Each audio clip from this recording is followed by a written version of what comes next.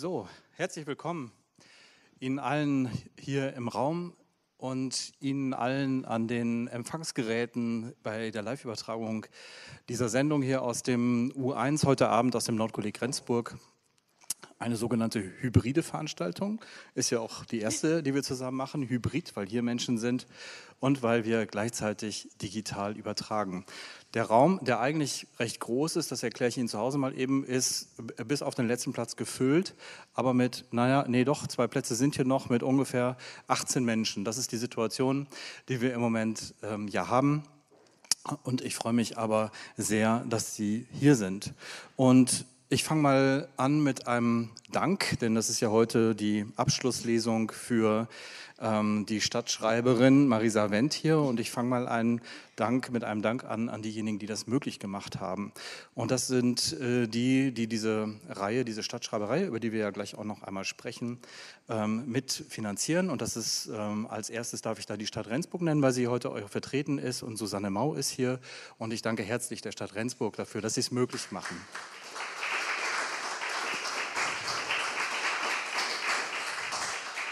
Susanne Mau und andere haben sich auch dafür eingesetzt, dass die Fien-Stiftung dieses Projekt mitträgt. Das ist auch geglückt. Die Bürgerstiftung Region Rendsburg unterstützt dieses Projekt, die Kulturstiftung Kreis Rendsburg-Eckernförde. Und ich begrüße den Kulturbeauftragten des Kreises Rendsburg-Eckernförde, Reinhard Frank. Und danke auch dir herzlich dafür, dass du hier bist und dass du das mit möglich gemacht hast, dass es diese Stadtschreiberei gibt.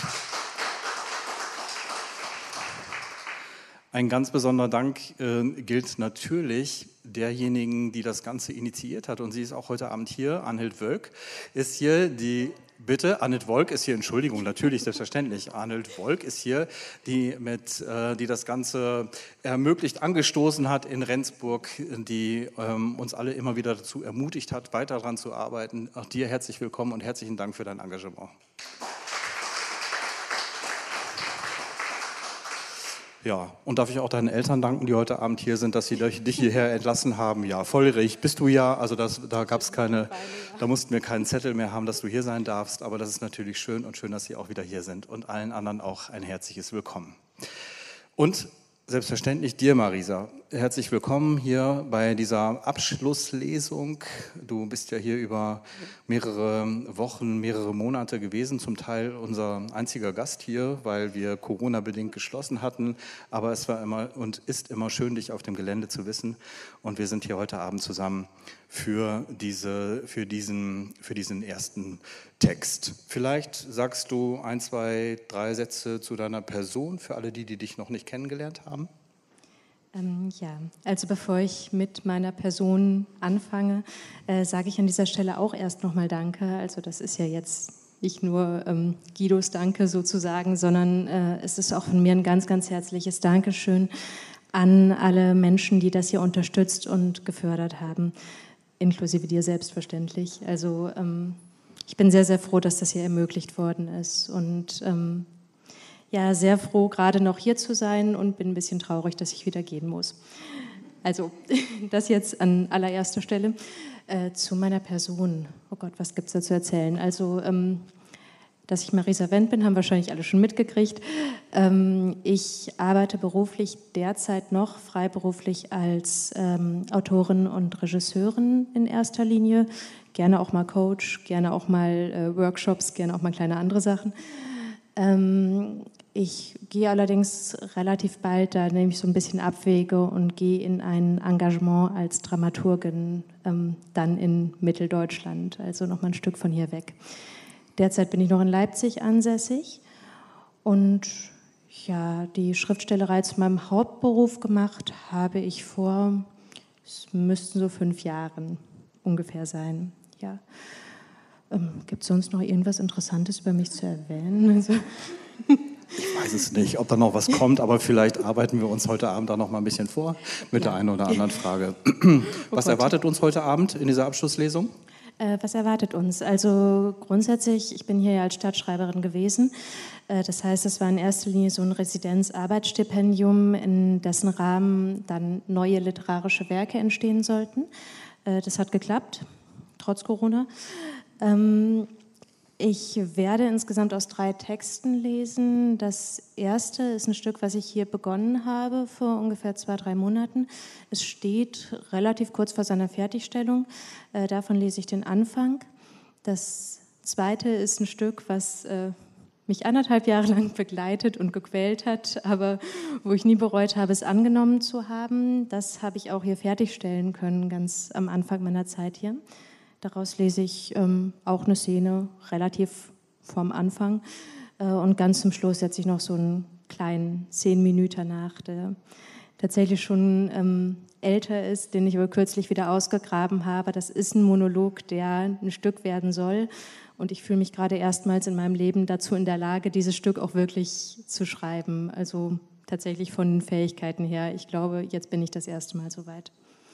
Toll, das klingt spannend. Dieser ganze Abend steht ja unter der Überschrift Dystopian Rhapsody. Ja. Ähm, das verspricht viel.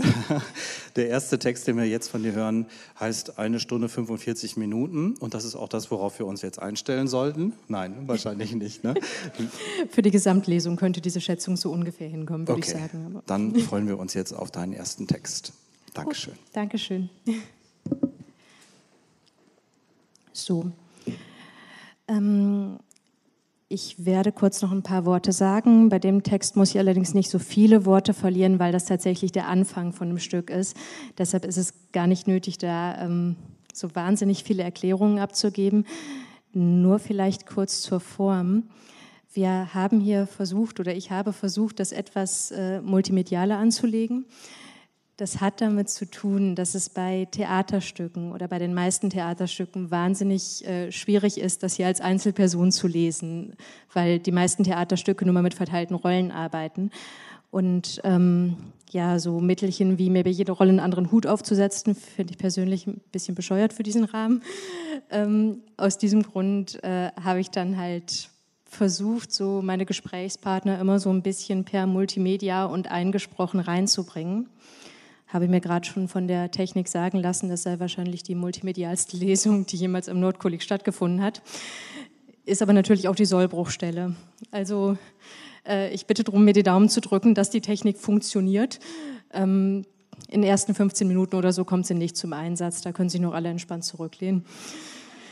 Ja, hoffen wir aufs Beste. Und ich scrolle mal zu der richtigen Stelle meines Textes.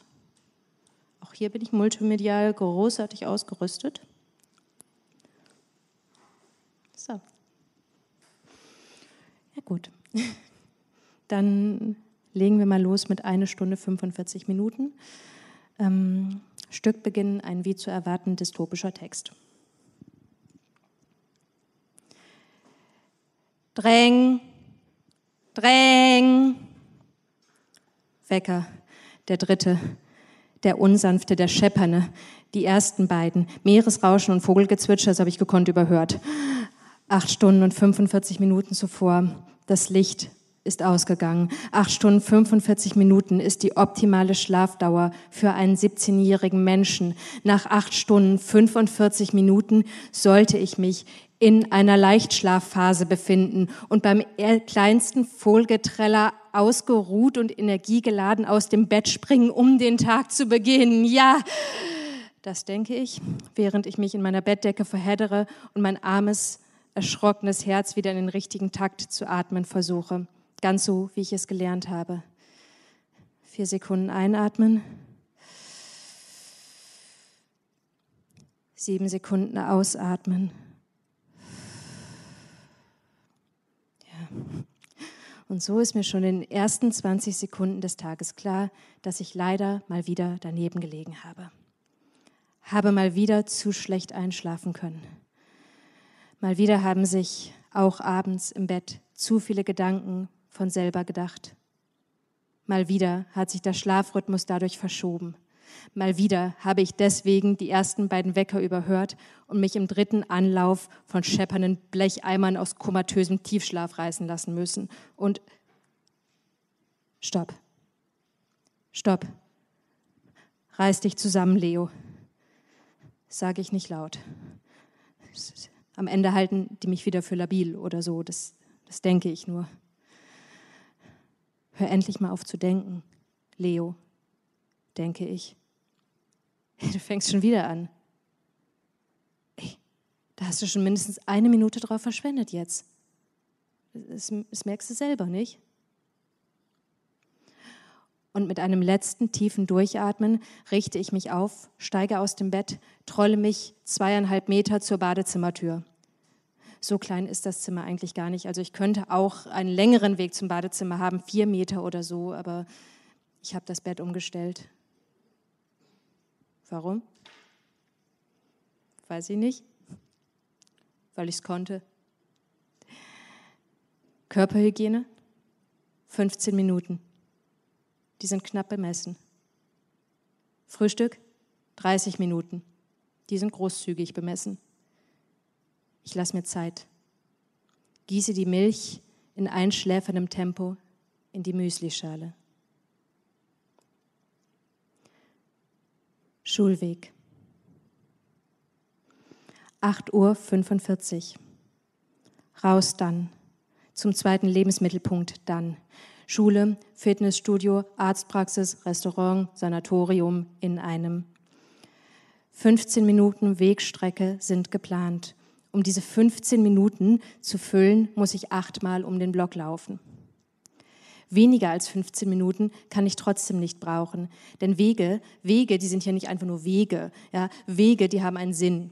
15 Minuten frische Luft regen die Hirnaktivitäten an und regen den Kreislauf an und 15-minütige Spaziergänge haben sich als ideal erwiesen, um dem Frühstück den bestmöglichen Weg in, durch den Magen und in den Verdauungstrakt zu bereiten. Und so zähle ich meine Runden eins, zwei, drei und lasse die Gedanken das erste Mal am heutigen Tag frei herumlaufen, ohne sie direkt wieder an die Leine zu nehmen.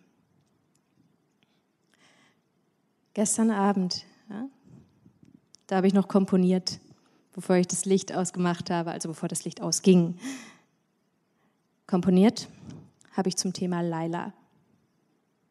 Also nicht der Olle Clapton-Song, auch wenn ich den natürlich ebenfalls auf dem Stegreif klimpern könnte, so ja, aber nee. Also Laila, mit der ich derzeit dreimal die Woche in der ersten Theorieeinheit des Tages sitze und einmal die Woche nebeneinander. Ja, daher weiß ich auch, dass sie Laila heißt, denn da konnte ich sie danach fragen. Und ja, man muss das mal so sagen. Also Laila, die sieht verdammt gut aus. Und sie wird irgendwann mal Labormedizinerin und ja, das ist grundsätzlich auch schon mal ein Pluspunkt. Äh, und gestern, da sind wir dann auch in der Kontakteinheit zusammengewürfelt worden. Und da haben wir fernab von den anderen aus der Gruppe in der Ecke auf einer Matratze gelegen und unsere Finger so ineinander geschlungen und manchmal über Musik geredet. Ja, und mehr weiß ich nur auch nicht von ihr. Außer, dass sie Laila heißt und Labormedizinerin wird und so zartgliedrige Finger hat. Aber sie ist genauso ausgehungert nach Berührungen wie ich. Ihre dünnen Finger haben meine regelrecht aufgefressen, mein Handgelenk gepackt und sich so in die Handflächen gepresst. Und irgendwann, da hat sie dann wohl einen Akupressurpunkt getroffen oder so. Also, jedenfalls hat mich diese, diese eine Berührung plötzlich so sehr angemacht. Ja, mir ist heiß und kalt geworden und ich habe mich so auf den Bauch gedreht, damit bloß niemand was merkt, damit mir Laila bloß nicht direkt wieder weggenommen wird. Und abends, da habe ich dann das Lied geschrieben. Starving Hands. Also natürlich habe ich nicht von Laila gesungen, sondern immer nur so von She und Her. Ich bin ja nicht blöd. Ja. Und da bin ich dann wieder an der Hausecke. War das jetzt die siebte oder die achte Runde? Verflucht. War das jetzt die siebte oder die achte Runde? Ich schaue mich vorsichtig um. Äh, wenn es die achte Runde war, dann müsste jetzt so langsam mal äh, Pierre herbeigeeilt kommen, äh, den ich noch von früher kenne und der wesentlich weiter entfernt von der Schule untergebracht ist als ich, weshalb der keine Runden um den Block laufen muss. Ähm, oder ja, ja, ja, sondern ja, quasi im Eilschritt keinen Meter Umweg machen kann denn mehr als 15 Minuten hat er ja nun auch nicht für den Schulweg. 15 Minuten sind ja schließlich das Optimum. Aber nichts ist zu sehen von Pierre. Und so riskiere riskiere ich es, hänge noch eine Runde dran und als ich mich gerade wieder der Ecke nähere, da sehe ich ihn sprinten. Ich wink ihm zu, er winkt mir, ich schließe mich an und gemeinsam sprinten wir zur Schule, ohne ein Wort zu wechseln. Nicht um diese Uhrzeit. Und sonst habe ich eigentlich auch nicht mehr so viel mit Pierre zu tun. Pierre war mal sowas wie mein bester Freund. Und jetzt, jetzt wird Pierre Orthopäde und ich werde Topograph und das hat nicht sonderlich viel gemeinsam. Also außer dass beides Sinn ergibt. Oh, und Laila. Ja klar, Laila hat das gemeinsam. Die lernen bestimmt Anatomie zusammen. Pierre ist schneller als ich, aber ich bin ausgeruhter. 15 Minuten perfekt in der Zeit. Säuberlich reihen sich die Schüler vor der Schule auf, suchen ihre farbigen Felder auf dem Boden, gruppieren sich in vorauseilendem Gehorsam, um das Gedränge in den Gängen zu vermeiden. Um Punkt 9 Uhr schwingen die Pforten. Die Armee der Lernwilligen marschiert gesittet in die Zukunftsschmiede und ich marschiere mit und eins und zwei. Und als aus meinem Kasten sonst niemand mitmarschiert, wundert mich das ungefähr zwei Sekunden lang und dann weiß ich es wieder. Freiluftunterricht. Natürlich. Es bringt ja jetzt auch nicht so viel, im, also innerhalb des Gebäudes Drohnenfliegen zu üben. Boah, Mann, Leo, jetzt reiß dich mal zusammen, ehrlich. Konzentration. Die haben dich sowieso schon auf dem Kieker. Verdammt. Diesmal habe ich es laut gesagt.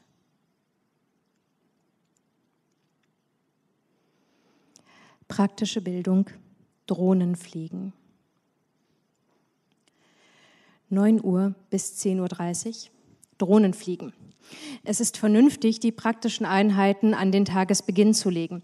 Praxisarbeit weckt das müde Hirn, welches bei 17-Jährigen immer müde ist um diese Uhrzeit, äh, ja, was aber wohl nichts daran ändern soll, dass diese Uhrzeit auch für 17-Jährige ein sehr gesunder Tagesbeginn ist.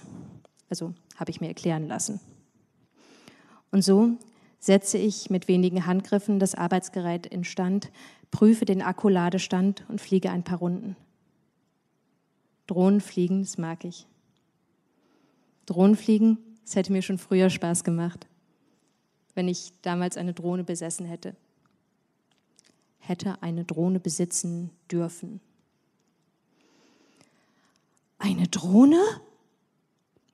Ich sehe immer noch dieses entgeisterte Gesicht meiner Mutter so, so, vor mir mit, mit verkniffenen Mundwinkeln und aufgerissenen Augen. Und irgendwie zieht meine Mutter in meiner Erinnerung immer die Vokale unnatürlich lang, wenn sie irgendwas missbilligt. Eine Drohne? Ja, und dann hat sie langsam meinen Weihnachtswunschzettel sinken lassen und ich sitze da so mit meinen großen 13-jährigen Augen, bei denen ich leider nie gelernt habe, sie als Waffe einzusetzen. Ähm, ja, Mama, bitte. Äh, Pierre hat auch eine.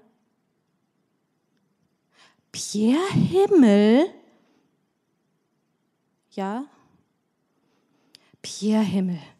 Also das wundert mich nun gar nicht. Sie, Leo, eine Drohne, das ist Zeitverschwendung.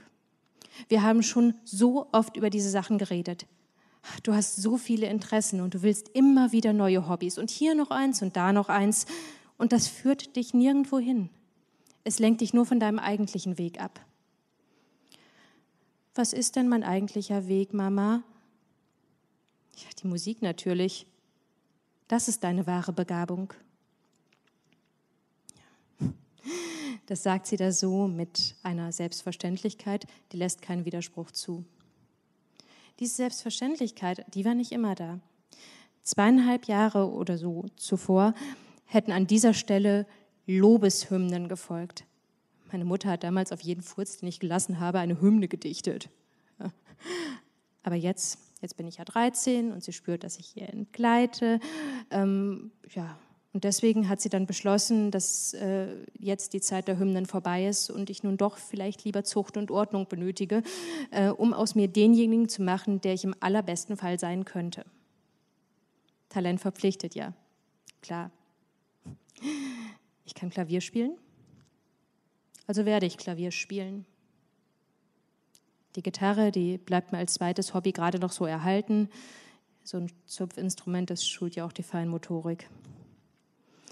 Und ja, mein fehlender Fokus, ja, den werden wir schon mit Zucht und Ordnung in den Griff kriegen.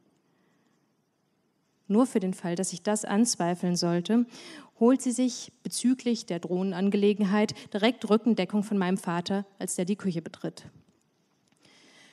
Dein Sohn wünscht sich eine Drohne zu Weihnachten. Eine Drohne?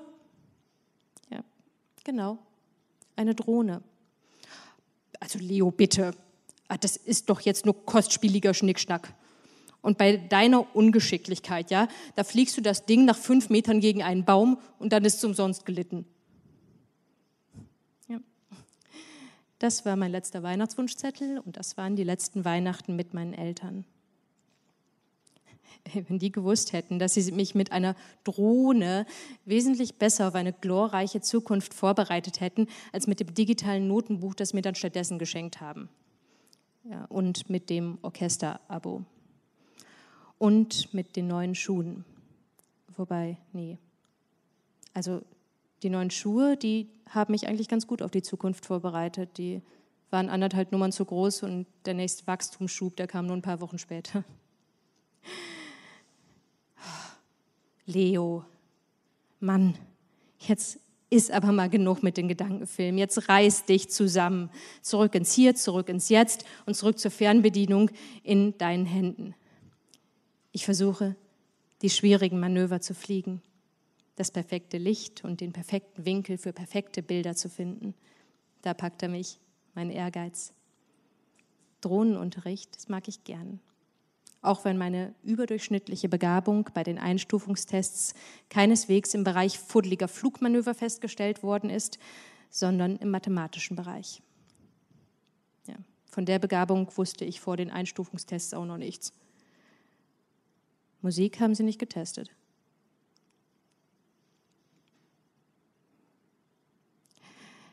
Seit sie auf Basis dieser ganzen Tests beschlossen haben, dass ich Topograf werden soll, habe ich Angst aufzufliegen. Denn, also vielleicht kann ich Mathe wirklich ganz gut. Klar. Vielleicht falle ich auch in anderen Bereichen nicht sofort durch jedes Raster. Ich bin mittelsportlich, mittelsozial, mittelcharismatisch und die Drohne, die fliege ich auch ganz passabel, wenn ich nur will. Aber all das nützt nichts. Das haben sie mir klar gesagt, wenn meine psychische Stabilität weiter absackt. Sie sagen psychische Stabilität. Genauer können Sie das äh, da nur in der Theorie werden, denn Instabilität hat keiner von denen jemals im eigenen Leib erfahren. Naja, also am Leib sowieso nicht, dafür müsste man ja erstmal Leiber haben, nicht? Deshalb sehen sie auch nur von außen, ja, der Leo, der verschwendet Energie durch Selbstgespräche und durch Vergesslichkeit und durch dieses vollständig sinnentleerte Gitarrenklimper, das er dir jeden Abend von sich gibt, als gäbe es nichts anderes. Ja, was sie nicht verstehen ist, ich bin eigentlich psychisch stabil. Ich, ich kann mich nur nicht konzentrieren. Und die Selbstgespräche, die brauche ich, weil sich sonst meine Gedanken wie wild durcheinander denken. Sie sehen nur Selbstgespräche und vermuten eine Neigung zur Schizophrenie. Ich muss vorsichtig sein. Ich muss weiterhin meine Drohne passabel fliegen und meine Matheaufgaben überdurchschnittlich gut lösen und ich muss meine Gedankenkarussell irgendwie durch Intelligenz kompensieren, obwohl die wirklich nur maximal, maximal leicht überdurchschnittlich ausgeprägt ist. Und ich muss auf das Beste hoffen. Und Foto. Und Foto. Yes. Ich sehe die Drohnen meiner Mitschüler am Himmel und sehe die Vorschau der Bilder auf dem kleinen Tracker an meinem Handgelenk. Gut gemacht, Leo. Auf die Perspektive ist uns keiner gekommen. Keiner außer dir. Das gibt Pluspunkte. Diese Perspektive ist ungewöhnlich, sagt die Stimme in meinem Tracker. Für welche Art von Karte kannst du diese verwerten, Leo? Ähm, zur äh, Kartografierung der Luftströme, sage ich. Wir sehen die temporären Verwehungen des Sandes, äh, wie sie typisch sind für diese Jahreszeit. Wenn wir dieses Gebiet jedes Jahr um die Zeit abfotografieren, dann können wir eine solide Basis für langfristige Wetterkarten liefern. Welche Entwicklung würdest du innerhalb der nächsten Jahre erwarten, Leo, wenn du tatsächlich wiederholt zur gleichen Jahreszeit ein Foto unter den gleichen Parametern wie heute anfertigst? Äh, gesetzt den Fall, dass euer Masterplan aufgeht, meinst du?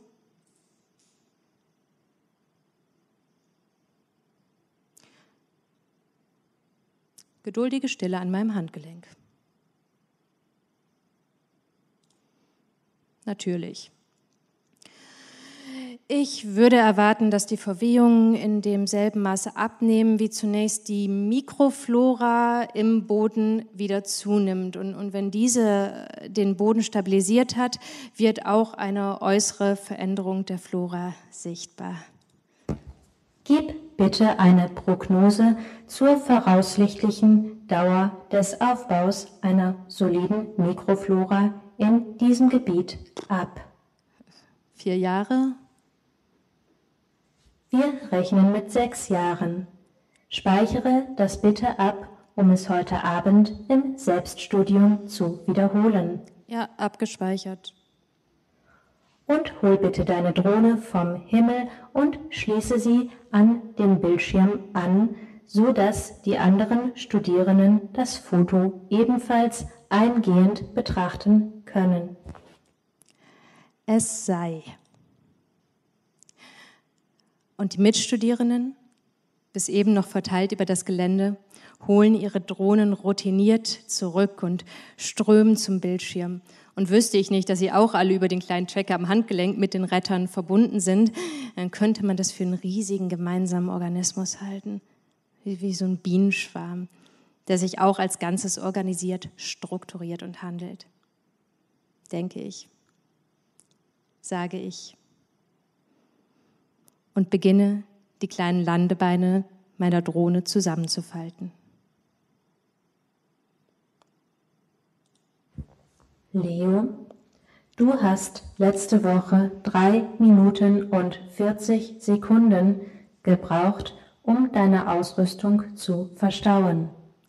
Äh, und? Jetzt bist du bereits seit sechs Minuten und zehn Sekunden beschäftigt. Ja. Du verschwendest Zeit. Seit einer Minute und 20 Sekunden solltest du Sozialkontakte pflegen. Aber kannst du nicht mein Sozialkontakt sein? Ich verstehe nicht. Können wir nicht einfach ein bisschen miteinander reden?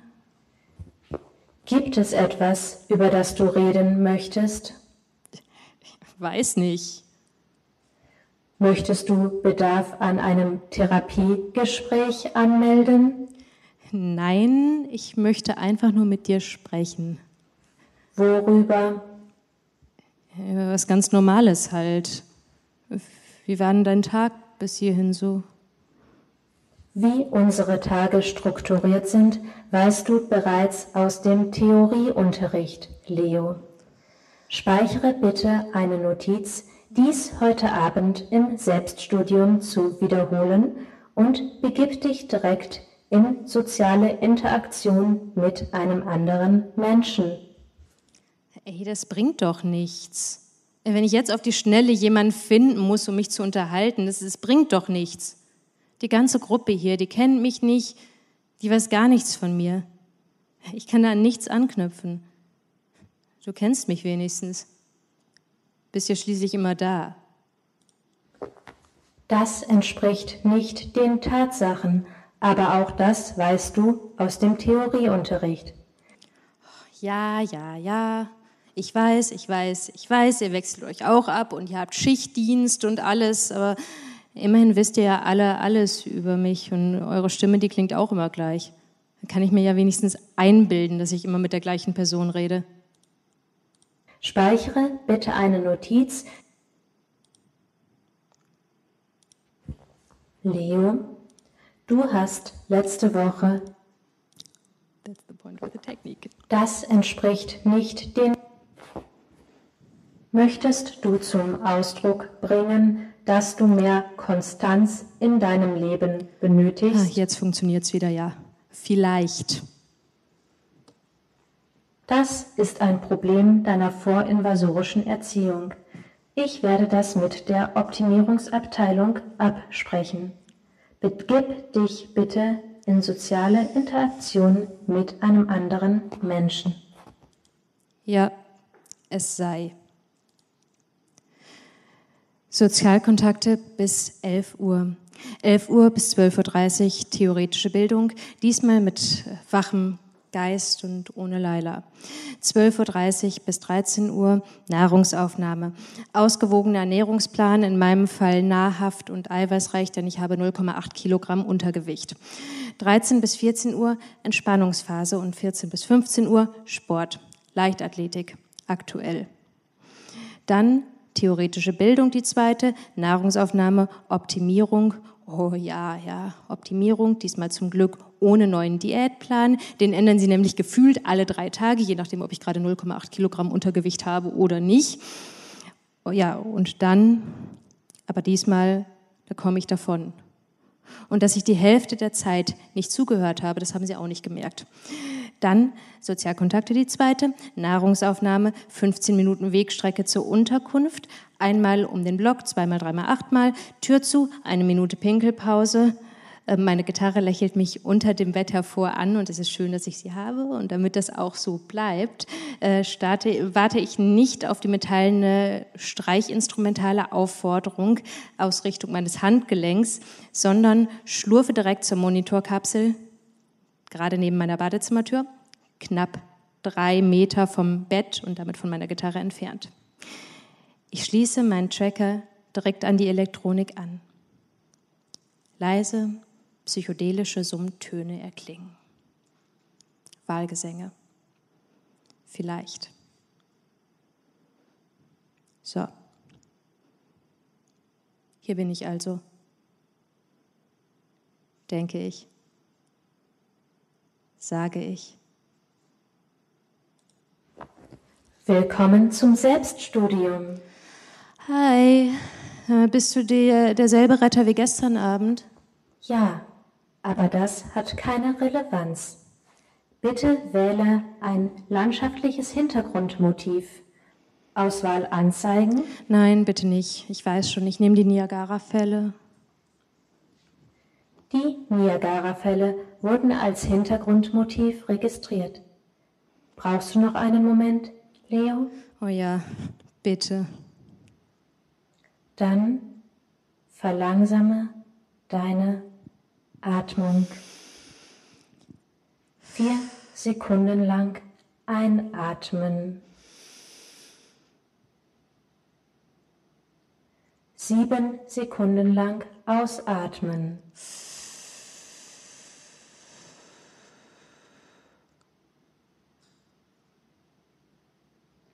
Ein, aus. Wiederhole dies noch weitere fünf Male.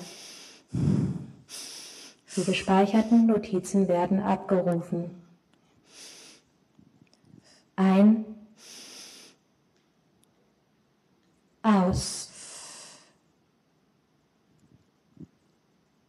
Und ein, aus.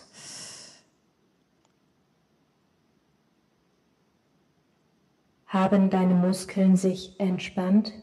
Ja, also sage ich, das kann ja schließlich niemand nachprüfen. Und bevor ich hier jetzt noch minutenlang rumatme und die Niagara-Fälle anstarre und dabei versuche, irgendwie krampfhaft meine Muskeln zu entspannen. Bist du bereit die gespeicherten Notizen abzufragen? Ja. Nach wie vielen Jahren ist mit dem Aufbau einer soliden Mikroflora in der aktuellen Region zu rechnen? Nach sechs Jahren. Richtig, Leo. Nach sechs Jahren vom heutigen Zeitpunkt an gerechnet. Sehr gut. Und was ist die korrekte Antwort, wenn wir ab dem Startzeitpunkt des Programms zur Rettung des Planeten rechnen? Nach achteinhalb Jahren? Richtig. Das Programm zur Rettung des Planeten ist ein halbes Jahr nach Invasionsabschluss in die aktive Phase getreten. Gut gemacht, Leo. Ganz bemerkenswert. Zusatzfrage. Was ist das erklärte Hauptziel des Programms zur Rettung des Planeten? Den Klimawandel aufzuhalten. Richtig, Leo. Das hast du sehr gut gemacht. Ja, die Frage stellt ihr mir jeden Abend. Und du hast diese Frage in den letzten 365 Tagen in 99,73 Prozent aller Fälle richtig beantwortet. Weiter so. Sehr gut. Vorbildlich. Ja, Wahnsinn, denke ich. Krass. Leo, echt du Genie, du Megatalent. Na los, gib mir noch mehr, ja, noch mehr Superlative. Das ist hier echt wie früher. Also zum Beispiel, als ich das Seepferdchen gemacht habe oder so, ja. Meine Mutter am Beckenrand. Ja, Leo, gut, weiter so. Oh, das schaffst du fantastisch, grandios. Oberaffen geil, Goal, Goal, Gaiol. Boah, Leo, Leo, du bist so perfekt. Oh, Leo, wenn es dich noch, nie, noch nicht gäbe, ja, ich würde dich hier auf der Stelle gebären vor lauter Begeisterung. Äh, so oder so ähnlich. Und ich währenddessen, so halb am Ersaufen, röchel, röchel, röchel, spuck, spuck, spuck. Und der Bademeister, der steht schon in den Startlöchern, um mich rauszuziehen. Ja. Geschafft habe ich es, mit Mühe und Not. Aber Mutti, er fand mich trotzdem ganz herausragend. Und jetzt, jetzt bin ich schon beim messbaren 99,73 Prozent Korrektheit. Was für eine Steigerung auf eine Frage, die mir jeden Abend gestellt wird. Was ist das erklärte Hauptziel des Programms zur Rettung des Planeten? Ja, den Klimawandel aufzuhalten. Boah, richtig, Leo. Wahnsinn. Mutti ist zwar nicht mehr da, aber dafür lobt mich jetzt ja so ein Chor von Metallstimmen in den Himmel für die richtige Antwort. Genial, bahnbrechend. Hey, Lasst mich raten. 150-jährige Menschenforschung hat vermutlich ergeben, dass Menschen durch Lob total gut zu motivieren sind. Ja, wenn irgendwas, was total übertrieben ist, vor den Rettern in voller Ernsthaftigkeit immer und immer wieder durchgezogen wird, dann hat das meistens genau den Grund. 150-jährige Menschenforschung hat ergeben, dass die 27 Prozent Fehlerquote, ja, die kann ich übrigens erklären. 0,27 Prozent, 27 war hart. Die 0,27 Prozent Fehlerquote, die kann ich bestens erklären. Also ich wollte halt schauen, was passiert, wenn ich meine falsche Antwort gebe. Naja, ähm, das hat mir dann, da habe ich dann eine ganze Woche lang ähm, meine gesamten Theoriestunden, und das sind immerhin fünf mal drei, in Klimawandelkursen absitzen müssen. Und alle anderen Mitstudierenden, die da saßen, ja, es waren solche geistigen Tiefflieger. Also in der vorinvasorischen Zeit waren das bestimmt die, die gedacht haben, wenn es im Sommer regnet, dann kann das ja gar nicht so schlimm sein mit der Erderwärmung. Ich war wohl der Einzige von denen, der nur deshalb falsch geantwortet hat, weil er sich vor dem ganzen Gelobe und Gepreise einfach total provoziert gefühlt hat. Ja, 0,27 Prozent und eine ganze Woche Verzweiflung hat mir das eingebracht. Mache ich nicht wieder. Oder vorinvasorische Erdgeschichte 1. Oh, verdammt. Nicht schon wieder. Äh, ja, beschissene Gedanken. Beschissene, wandernde Gedanken. Dann sind sie jetzt wieder nicht rechtzeitig zurückgekommen ins Hier und Jetzt und, und, und in diese kleine Monitorkapsel. Vorinvasorische Erdgeschichte 1. Für vorinvasorische Erdgeschichte 1 als Wahldokumentation entschieden. Ja, klar, was sonst? Die anderen Möglichkeiten, die habe ich ja auch überhört. Und genau das, das sollte ich ja nicht merken, denke ich. Bestätige die Auswahl vorinvasorische Erdgeschichte 1. Ja, Herrgott. Dauer der Dokumentation 45 Minuten. Verbleibende Zeit bis zum Ende des Selbststudiums 45 Minuten.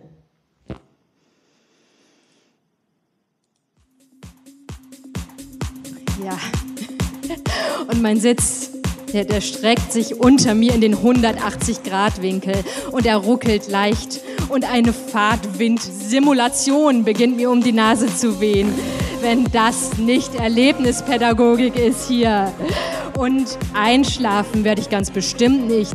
Nicht, wenn 150 Jahre Menschenforschung sich ausgezahlt haben. Denn dann bin ich jetzt nicht müde. Es ist 20.15 Uhr und ich bin wach und mein Energielevel ist genau auf der richtigen Höhe. Ich bin bereit.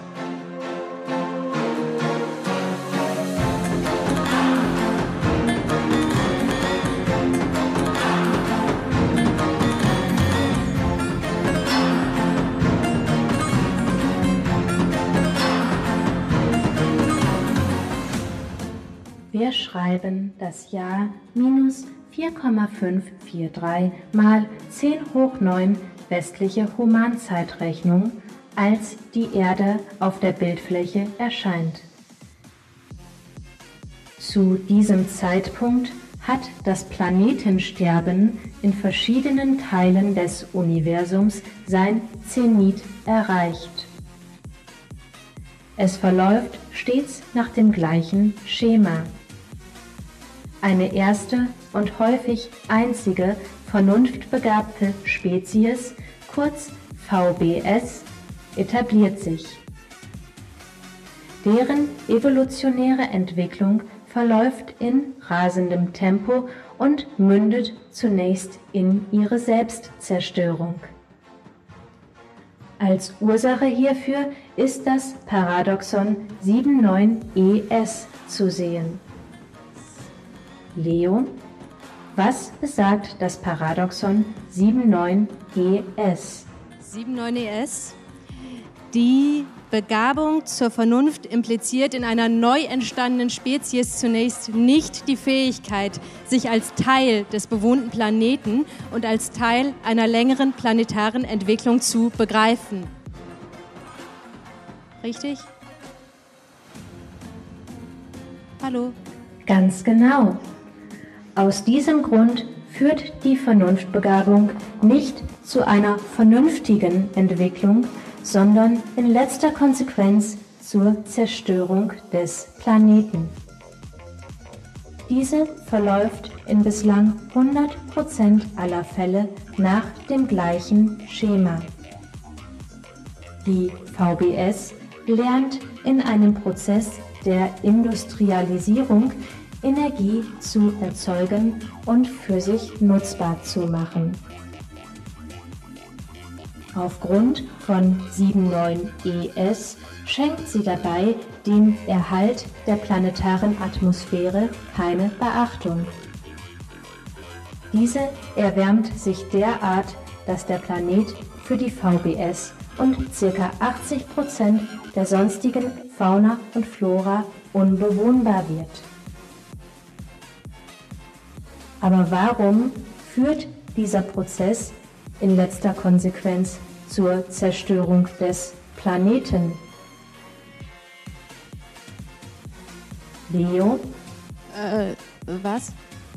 Erzähl mir bitte etwas zum Prozess der Digitalisierung. Äh, ach so, ja, natürlich, Digitalisierung.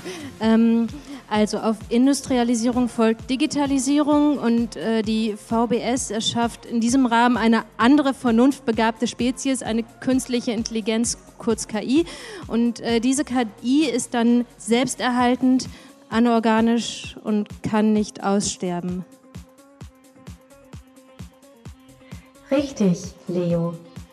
Und da diese digitale VBS nach dem Vorbild der organischen VBS konstruiert ist, ist sie ebenfalls dem Paradoxon 79ES unterworfen und setzt nach dem Aussterben der VBS deren Kurs fort. In letzter Konsequenz wird der Planet zerstört. Im Jahr 1800 Humanzeitrechnung ist dieser Zerstörungsprozess auf den letzten größeren bewohnbaren Planeten des Universums Carnutz und SOL 994 abgeschlossen. Die kleine Erde verbleibt als einziges lebensfähiges Biotop des Universums. Zu diesem Zeitpunkt ist die Menschheit als VBS des Planeten Erde bereits etabliert und in den Prozess der Industrialisierung eingetreten. Erwägungen, die Menschheit zum Schutz der Erde direkt prophylaktisch auszulöschen, werden aus Artenschutzgründen verworfen. Stattdessen soll zunächst versucht werden, die Erde von innen heraus zu reformieren. So wird bereits 1892 HZ erstmals ein Wissenschaftler installiert, welcher vor den Folgen einer Atmosphärenerwärmung durch vermehrten Ausstoß von Treibhausgasen warnt. Ende der Dokumentation Vorinvasorische Geschichte 1 Universalgeschichte Einordnung Irdische Geschichte bis 1900 HZ. Nächste Dokumentation Vorinvasorische Geschichte 2 Erdengeschichte von 1900 HZ bis zur Invasion im Jahr 2025 HZ.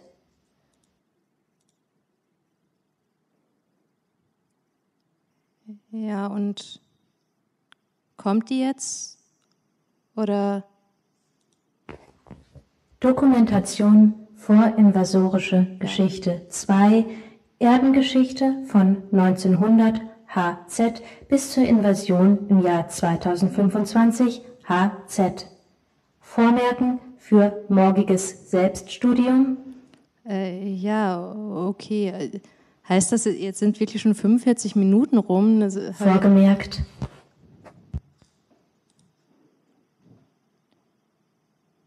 Vorgemerkt. Und ich? Ich klettere erschlagen aus meiner kleinen Kapsel. Es ist 21 Uhr. 21 Uhr bis 21.30 Uhr Körperhygiene, Extended Version. Ich würde ja lieber morgens duschen, aber das ergibt ja wenig Sinn, habe ich mir erklären lassen. Shampoo, Handtücher, Pickel quetschen, Fingernägel schneiden, rasieren, Cam, Bodylotion, Jogginganzug. Es ist 21.30 Uhr. Ich habe keinen Bock mehr auf meine eigenen Gedanken.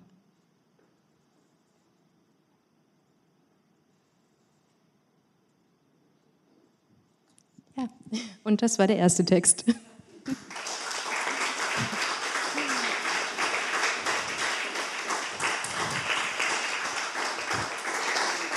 Dankeschön. Nur minimale technische Fehler. Ich hoffe, das war zu verschmerzen. Hi. Auf jeden Fall war es das. Das war ja ganz spannend. Das war ja schon inszeniert, quasi von dir, oder? Ja, das ist halt immer so die Sache mit Theatertexten. Also, beziehungsweise, was ich gerade sagte, also es ist ohnehin immer ein bisschen schwer, das alleine zu lesen, deshalb der große mediale Aufriss hier. Ähm, ich habe aber tatsächlich auch eine ganze Weile als äh, Schauspielerin gearbeitet. Da fällt es mir auch immer schwer, Sachen ganz normal zu lesen und deshalb mache ich es dann halt so. Ja, also das ist jetzt ein Stück, fürs, was du fürs Theater geschrieben hast. Genau, genau. Und ist es fertig? Ähm, jetzt ist es noch nicht fertig. Es sind ungefähr drei Viertel fertig, würde ich mal behaupten, allerdings noch so ein bisschen ungeordnet. Äh, ich hoffe eigentlich selber, dass ich es äh, so in ungefähr einem Monat fertig habe. Mhm. Und was passiert da mit so einem Text? Also wir, ich frage einfach mal als ganz neugierig, also wenn du jetzt diesen Text fertig hast, schreibst du den im Auftrag, schreibst du den für dich? Hast du, ähm, was hast du für eine Idee, was danach mit dem Text passiert? Ja, also äh, ist unterschiedlich, je nach Text. Ähm, das hier jetzt ist kein Auftragswerk in dem Sinne gewesen. Also es ist so, dass irgendwie in meinem Kopf hatten sich so einzelne Puzzleteile zusammengesetzt und da ist dann eben diese sehr dystopische Gesamtidee rausgekommen. Und ähm, als die Idee stand und ich so den ein oder anderen Monolog geschrieben hatte, äh, habe ich was gemacht, was ich normalerweise nicht mache. Ich habe ein befreundetes Theater angerufen, das war die junge Bühne Ulm tatsächlich, und äh, habe gefragt, ob sie Lust haben, das mit mir zusammen umzusetzen. Das war für mich super, weil ich dadurch gleich so ein Feedback beim Schreiben halt irgendwie hatte und ähm, gerade dieser Bühne vertraue ich tatsächlich ziemlich. Also da weiß ich, dass wir den gleichen Kurs fahren. Ähm, ja, dementsprechend, das wird wahrscheinlich jetzt eine Kooperation mit denen. Und ja, also wenn der Text fertig ist, da der ja eben nicht im Auftrag oder so geschrieben worden ist, ist danach dann der erste Weg eigentlich der in Verlag. Also das gebe ich dann meinen Verlegern weiter sozusagen. Mhm. Dann wird das verlegt, dann kriegen Theater das angeboten von dem Verleger oder suchen sich den Stoff irgendwo, suchen nach neuen Stoffen. Ja, also dann äh, streite ich mich zwei Wochen lang mit meinen Verlegern über die Korrekturen. Und wenn wir damit fertig sind, dann wird es ins Verlagsprogramm aufgenommen. Und ähm, ja, jetzt ist es unterschiedlich. Also der, das wird schon vom Verlag aktiv Theatern angeboten, also wo der Verleger eben denkt, das könnte passen. Ähm, es ist aber natürlich auch so, dass die Theater sich ähm, Stoffe suchen, also sei es auf den Homepages, sei es auf den Katalogen, die halt auch immer verschickt werden, ähm, sei es, weil sie das zufällig im Livestream von Nordkolleg live gesehen haben und denken, den will ich für die übernächste Spielzeit auch unbedingt haben. Und ähm, das ist dann der Punkt, wo es eben das erste Mal so richtig, richtig veröffentlicht wird, weil Theatertexte ja im Gegensatz zu Prosatexten ähm, ja immer so einen mehrstufigen Veröffentlichungsprozess haben. Also das landet ja am Ende auf einer Theaterbühne und erst dann ist es fertig, so in dem Sinne. Also so richtig fertig, fertig ist ein Theaterstück vorher eigentlich nicht. Einfach nur, weil es ein Gesamtkunstwerk ist, zusammen mit ganz vielen anderen Theaterschaffenden, die alle noch nach mir kommen. Ja, da, also da passiert doch auch künstlerisch noch was mit dem, was du dann abgibst, oder? Ja, du hast genau. da was fertig geschrieben und du weißt nicht, was damit anschließend passiert. Jetzt hast du ja schon so, also diese, ähm, ähm diese, diese Beats, die da drunter lagen, diese Musik, also du hast ja auch inszenatorische Vorstellungen davon beim, beim Schreiben, oder? Steht dann da in der Regieanweisung, jetzt möge bitte die und die Musik gespielt werden während dieser Phase, dieser Lernphase? Seltenst. Mhm. Also in diesem Fall ist das jetzt deshalb inszeniert, weil ich es äh, hier lesen musste. Und das muss ich halt irgendwie machen. Und äh, da dachte ich, dann machen wir das doch mal so, dass es ein bisschen spannender wird irgendwie. Mhm. Ähm, ich habe aber ganz ehrlich vorher nicht drüber nachgedacht, wie man das machen könnte. Damit habe ich erst angefangen, irgendwie vor ein paar Tagen, als ich eben angefangen habe, ähm, nicht nur den Text, sondern auch die Lesung selber vorzubereiten.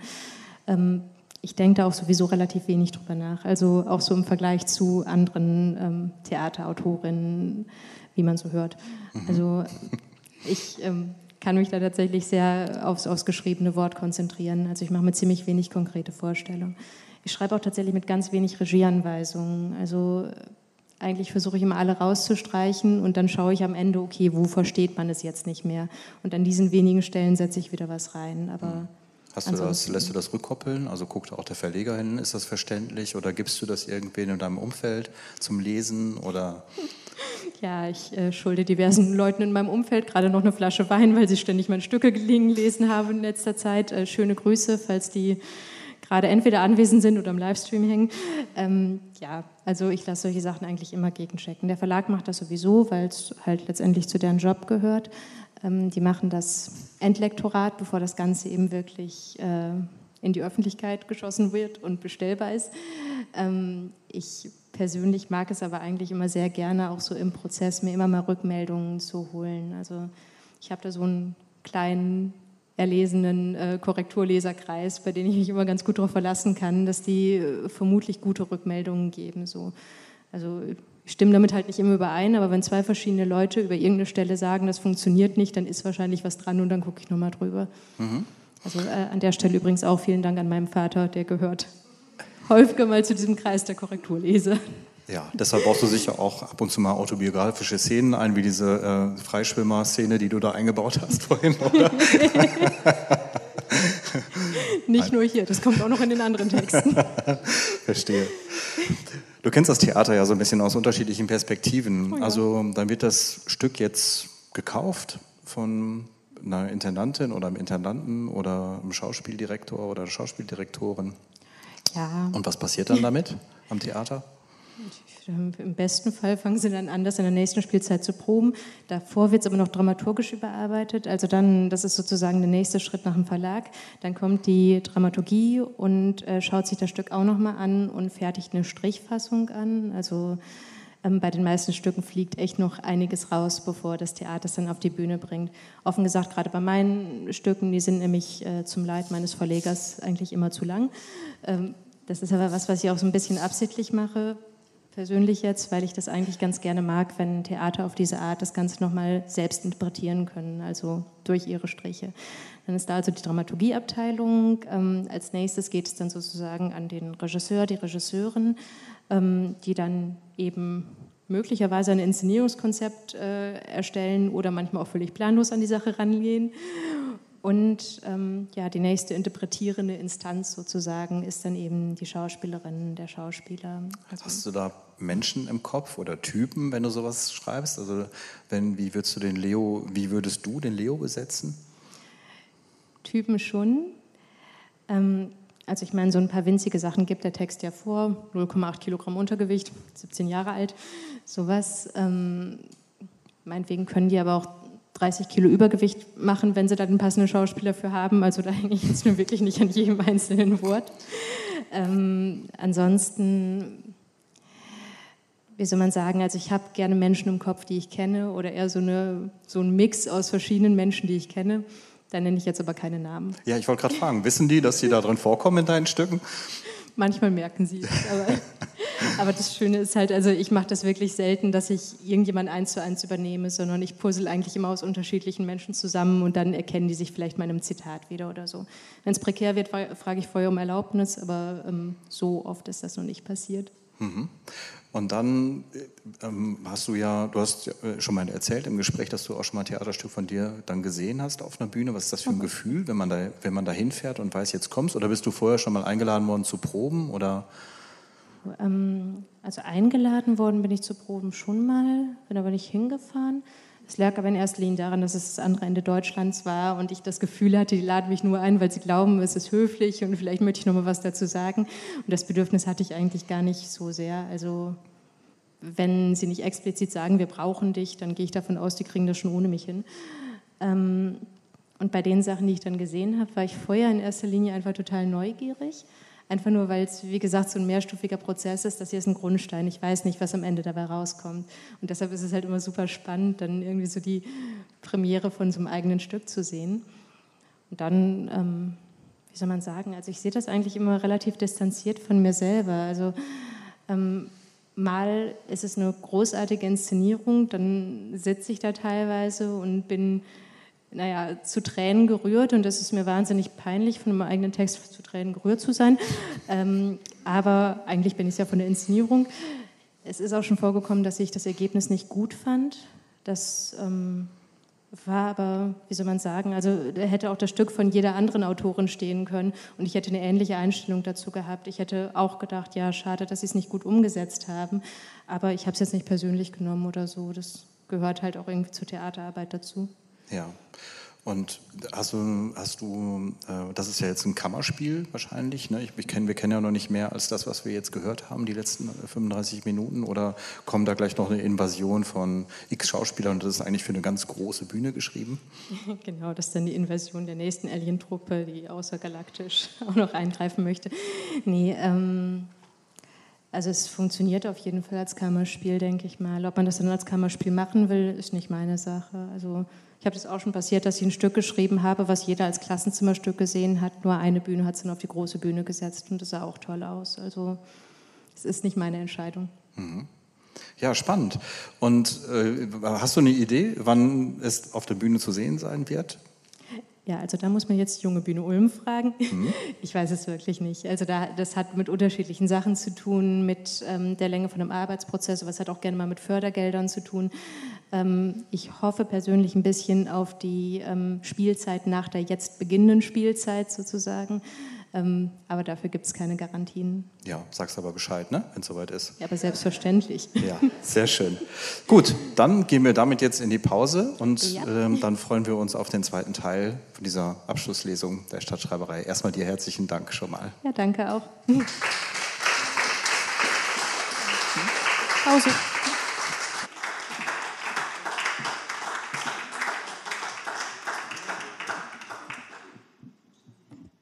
Ja, das war jetzt der erfolgreiche Versuch, mich weg von den Privatgesprächen zurück hierhin zu bringen. Gut, es wird jetzt einmal kurz klingeln, während ich meine Technik hier wieder zum Laufen bringe. Hat gar nicht geklingelt, auch nicht schlecht. So. Hör mal. Hm. So, jetzt läuft es wieder sehr schön. Ja, dann ähm, würde ich mal sagen, steigen wir doch mal mit dem zweiten Text ein. Ähm, dieser Text ist ein Ausschnitt aus dem Stück, was ich hier tatsächlich ganz fertiggestellt habe. Ähm, ich äh, habe es eben schon erwähnt, es hat mich anderthalb Jahre lang begleitet. Das ist eine sehr lange Zeit gewesen. Ich habe mich auch ganz schön dran aufgerieben. Ich habe es nie bereut, es angenommen zu haben. Das war tatsächlich nämlich mein Auftragswerk. Ähm, dieses Stück besteht eigentlich aus neun Theaterstücken in einem. Deswegen hat es wahrscheinlich auch so lange gedauert. So.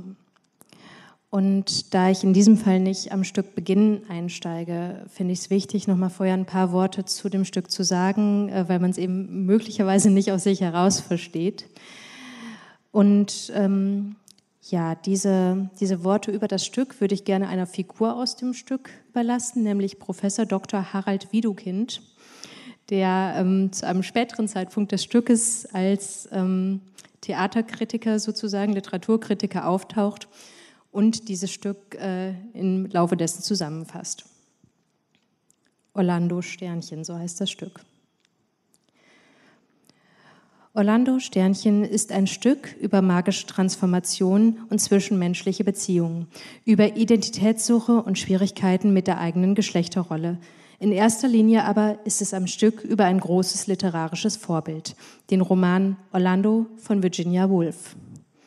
Wir verfolgen zunächst den jungen Adeligen Robert von Balsa, der nach einer gescheiterten Romanze, nach siebentägigem Schlaf nicht nur, wie in Virginia Woolfs Original, in einem weiblich gewordenen Körper, sondern in einem völlig anderen Leben, nämlich dem Leben seiner besten Freundin, erwacht. Von hier an ist die Orientierung an der Vorlage eher marginaler Natur. Unser Protagonist schlüpft nacheinander in die Körper einer Transsexuellen, eines braven Ehemanns mit geheimen Fantasien, einer Soldatin, eines erfolgreichen Intendanten und Regisseurs und daran anschließend noch in diverse andere Leben. Jede Episode bietet eine situativ gehaltene Erzählung mit dem gemeinsamen Thema Geschlecht und Geschlechtlichkeit, sodass wir es am Ende mit neun Theaterstücken in einem zu tun haben. Orlando Sternchen ist zudem ein sehr ausführliches Werk. Dies möchte ich mit großem Verständnis für die Autorin jedoch nicht ohne ein gewisses Seufzen bemerken. Ja, das ist die Inhaltsangabe von Professor Dr. Harald Widokind. Ähm, Ähnlichkeiten zu Karasek sind rein zufällig.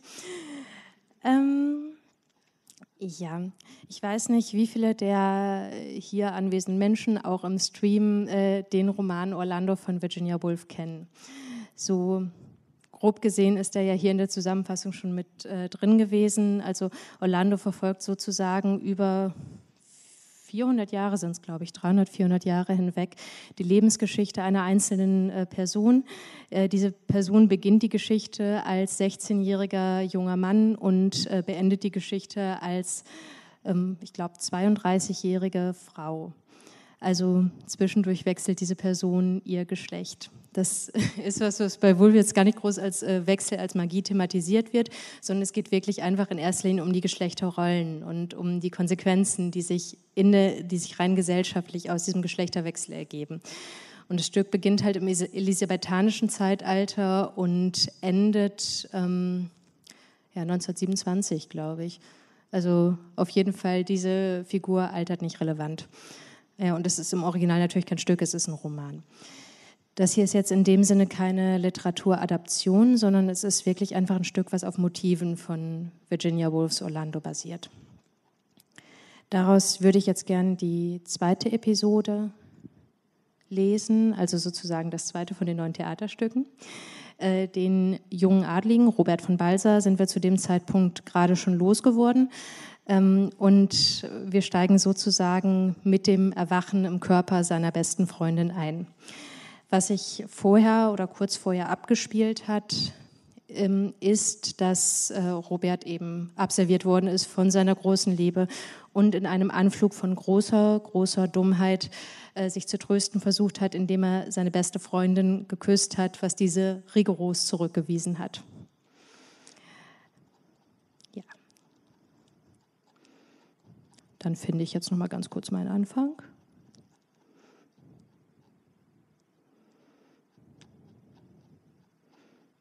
Er auch schon. Gut. Ah ja, es ähm, gibt neben der besten Freundin Ola eine Erzählerfigur, die ich jetzt notgedrungen mitlesen muss, weil ähm, ich keine Erzählerfigur hier habe. Erzählfigur. In jener Nacht schläft Robert als gebrochener Mann ein sein Herz gebrochen, dank dieser verfluchten Akrobatin, die er zu seiner großen Liebe erkoren hat und die er innerhalb von zwei Wochen gewonnen und wieder verloren hat. Sein Stolz gebrochen, dank dieser verfluchten Freundin, die nicht einmal außergewöhnlich gut aussieht und sich trotzdem herausgenommen hat, ihn zurückzuweisen. Niemals, niemals wieder einer Frau vertrauen. So denkt Robert sich beim Einschlafen. Nein, nein, niemals überhaupt auch nur wieder Umgang mit einer Frau haben. Gleich morgen würde er sich im Klassenzimmer von Ola wegsetzen. Sollte sie doch sehen, was sie von ihrer Überreaktion hatte. Und die Liebe.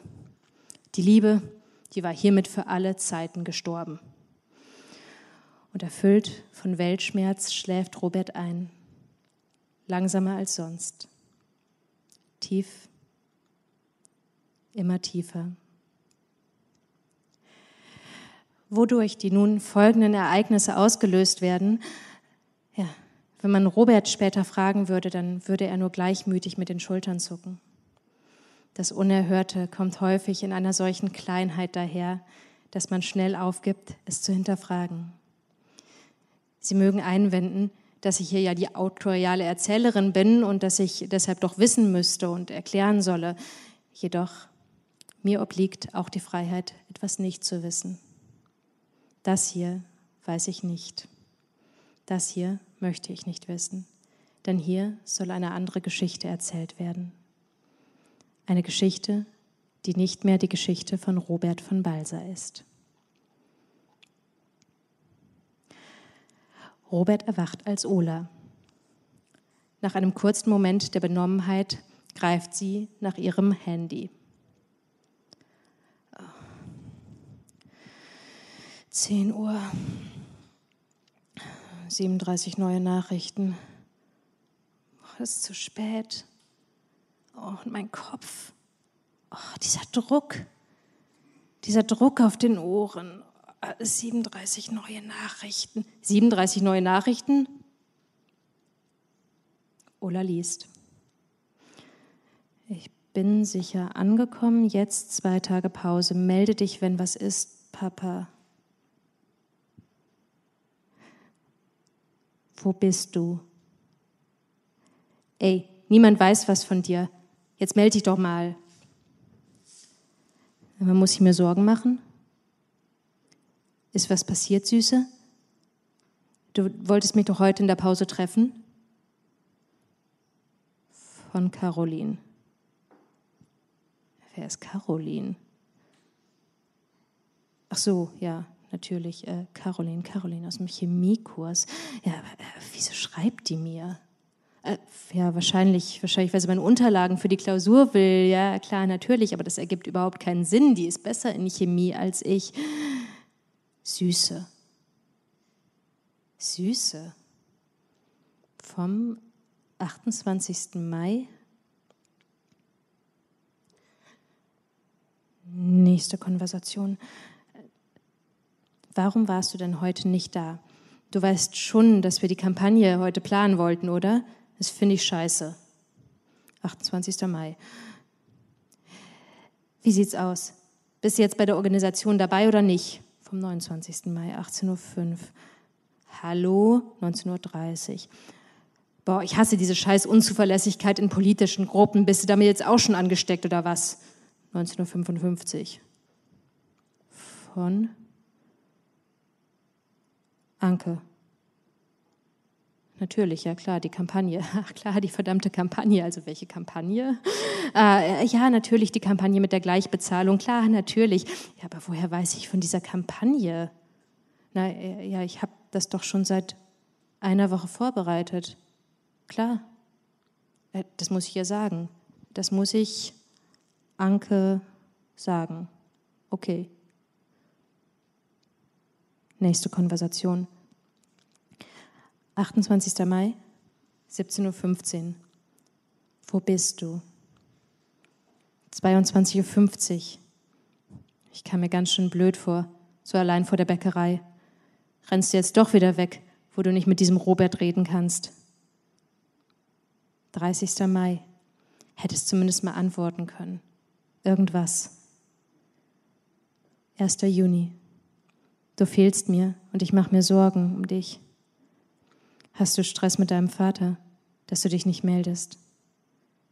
Aber der kommt doch eigentlich erst nächste Woche wieder zurück, oder? Von Amina. Nein. Nein, das ist, ist falsch. Der, der kommt nicht am Wochenende zurück. Der ist mindestens noch eine weitere Woche lang in London, Amina. Aber wer bist du? Und woher weißt du überhaupt, dass mein Vater zurückkommt aus Polen? Äh, natürlich, natürlich, klar, ich habe es dir erzählt, letzte Woche nach dem Plenum, was auch immer das jetzt für ein Plenum ist. Äh, ja, vielleicht hätte ich da doch irgendwann mal mitgehen sollen. Wie, wie lange ist das jetzt her? Äh, welchen Tag haben wir heute? 3. Juni. Und gestern war der 27. Mai. Ja, das ist klar, das ist heute der 3. Juni. Ich habe ja verschlafen. Ja, und ich habe so einen Durst. Und sag mal, wo ist meine Wasserflasche? Ey, die steht doch sonst immer hier direkt, auch wenn er jetzt nicht mal mein Nachttisch. Wo ist mein Nachttisch? Ich will gar nicht drüber nachdenken. Ich muss mich gleich noch bei Amina melden. Die macht sich sonst noch wirklich Gedanken. Eine neue Sprachnachricht von. Hör mal, es tut mir leid, okay? Du hattest recht. War eine Scheißaktion. Aber ich habe mich halt einfach verloren gefühlt.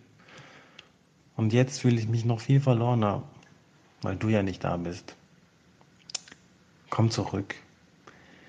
Die Lehrer fragen auch schon die ganze Zeit und ich habe behauptet, dass du krank bist. Und ich kann das ja nicht ewig behaupten, wenn du dich nicht selber abmeldest. Ich mache mir jetzt echt auch ein bisschen Sorgen. Hätte nicht gedacht, dass dich das so mitnimmt. Und ich meine, ich wollte dich jetzt echt nicht verletzen. Ich war nur selber gerade so verletzt. Und wenn wir mal reden wollen, also ich meine, über unser Verhältnis oder so, dann können wir das vielleicht mal machen. wenn du zurückkommst.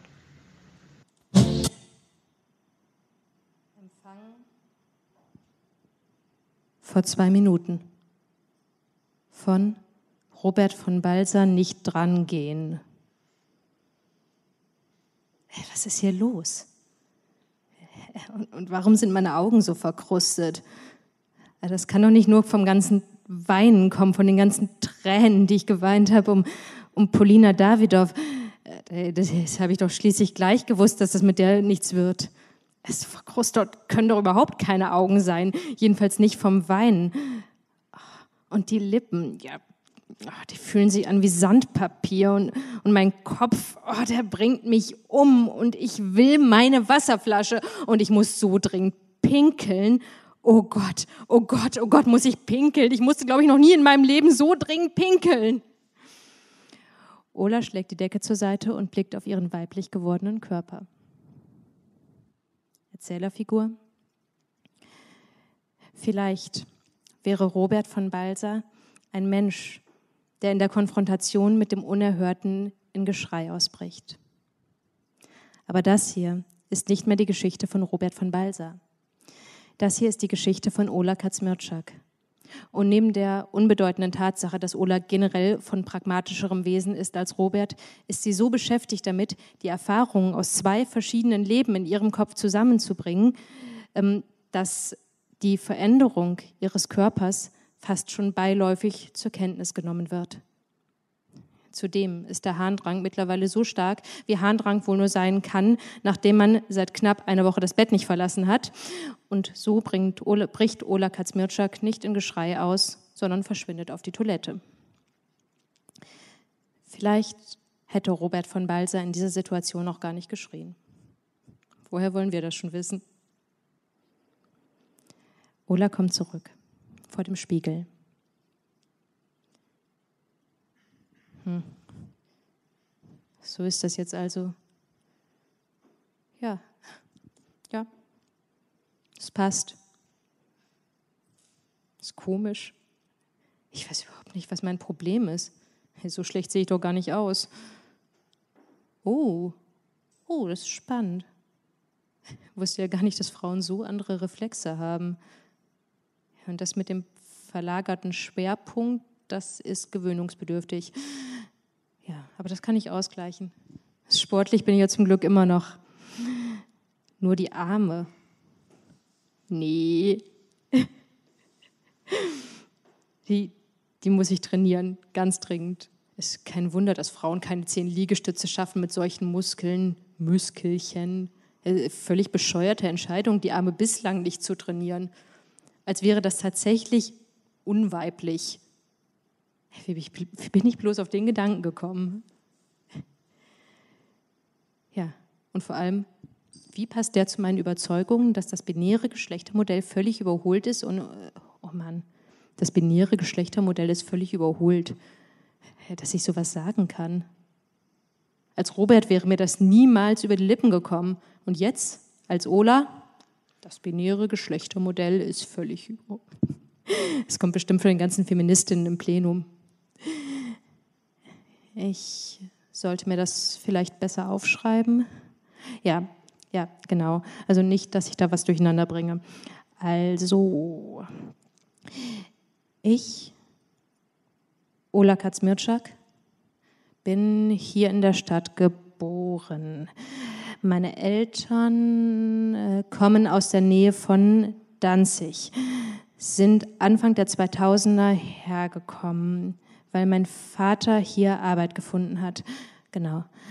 Meine Mutter ist seit acht Jahren tot. Ich habe Angst, dass ich den Krebs geerbt habe. Tatsächlich? Ja? Tatsächlich. Da ist eine Angst. Das ist eine Angst, die mich schon mein halbes Leben lang begleitet. Mein Vater war Lagerist und ist jetzt Lastkraftfahrer. Seit ich 14 bin, nimmt er Langstreckenfahrten an und ich bin dann immer alleine hier in dieser kleinen Wohnung. Aktuell, verdammt, äh, welchen haben wir heute nochmal? Ach ja, den dritten, natürlich, natürlich. Also er kommt äh, erst Ende der Woche wieder. Also mein Vater kommt Freitag wieder. Er heißt Adam und er liebt mich sehr. Er ist stolz auf mich. Ja. Er ist stolz auf meine Schulnoten, mein Aussehen, meine Zielstrebigkeit. Und er ist stolz darauf, dass der hochwohlgeborene Robert von Balser sich mindestens einmal pro Woche bei uns durchfrisst. Und er geht fest davon aus, dass ich ihn irgendwann heiraten werde. Ja, und er wäre nicht mehr stolz auf mich, wenn er. Oh Mann. Ola nimmt ihr Handy. Wo ist es? Wo ist es? Du fehlst mir und ich mache mir Sorgen um dich. Du fehlst mir. Nachricht von gestern. Von Amina. Amina, Amina, Amina, da, 2. April. Nachricht gesendet an Amina Mirazadi. Das war schön mit dir und du bist wunderschön. Ich spüre immer noch, wie du mir in den Nacken pustest. Und ich muss jetzt noch dran denken, dann kriege ich Gänsehaut. Nachricht von Amina Mirazadi. Ich fand die Nacht auch total schön. Schade, dass du so früh los musstest. Die Schule, Amina. Ich kann doch nicht unentschuldigt fehlen. Also wirklich, in deinem Alter, ne, da haben wir Entschuldigungen gefälscht. Nee, Spaß. Ich bewundere das, wie diszipliniert du bist. Wann sehen wir uns wieder, Amina? Wenn du bereit dazu bist. Was meinst du damit? Nichts. Such dir einen Tag aus. Ich bin frei. Boah, ey, nicht jetzt. Nicht jetzt, boah, Robert. Mann, Robert, du blöder Idiot, so. 27. April, Konversation mit Amina Merazadi. Hey, Amina, jetzt geh mal ins Telefon. Warum warst du nicht beim Plenum? Ich habe mich echt auf dich gefreut. Nächste Nachricht, Amina. Nächste Nachricht, hallo, Erde an Amina, Ola an Amina. Antwort von Amina Merazadi wegen uns. Was? Wegen uns war ich nicht beim Plenum. Okay. Wir können so nicht weitermachen, Ola. Was meinst du mit so? Du machst mir Angst. Sprachnachricht von Amina Mirazadi. Boah, ich kann das nicht länger verstecken. Und wenn es rauskommt, ja, was dann? Dann bist du am Arsch. Das sagtest du doch selber. Und die Beziehung zu deinem Vater überlebt dein Outing niemals. Das hast du auch selber gesagt. Sprachnachricht an Amina Mirazadi. Ja, und dann? Dann bin ich am Ende noch schuld. Sprachnachricht an Amina Merazadi. Ja, aber das sag ich nicht selber. Von Amina Ja, aber Merazadi. das sag ich nicht selber. Ja, nee, aber welcome to reality, Baby. Du bist nämlich das Baby. Weißt du? Und ich bin diese erwachsene Erwachsene, die dich gezwungen hat, vor deinen Vater zu treten, als du noch nicht bereit dafür warst. Und am Ende fliegst du zu Hause raus und dann bin ich schuld. Und dann beim Plenum, da finden mich dann eh alle zum Kotzen. Bist ja schließlich unser Küken. Und irgendwie für jeden deshalb auch total asexuell. Und dann muss ich gehen. Und weißt du, am Ende ist das auch nicht das Schlimmste, weil ich finde so oder so auch eine andere politische Gruppe. Aber ganz ehrlich, was ist mit dir? Das alles muss von dir kommen. Das alles darf nicht durch mich kommen. Du musst das selber kontrollieren, sonst wird das eine Katastrophe. Amina, was ist das jetzt für ein Trip? Boah, ja, Mann, ey, scheiße. Ja, ich hab dich gesehen. Äh, mit diesem Typen. Ähm, Ich wollte dich gestern von der Schule abholen, äh, dich überraschen und dann seid ihr da zusammen rausgekommen und ja, dann habe ich mich da so versteckt wie so ein Kleinkind und weil ich es einfach nicht besser wusste. Ich wusste nicht, ob wir uns kennen dürfen. Und dann habt ihr gelacht und euch in die Seite geboxt und äh, ja, ich habe da irgendwie noch ganz hilflos gewartet, ob ich dich irgendwie allein erwische. Aber dann seid ihr zusammen los. Das ist doch ganz Was? Du, das ist mein bester Freund. Da läuft nichts.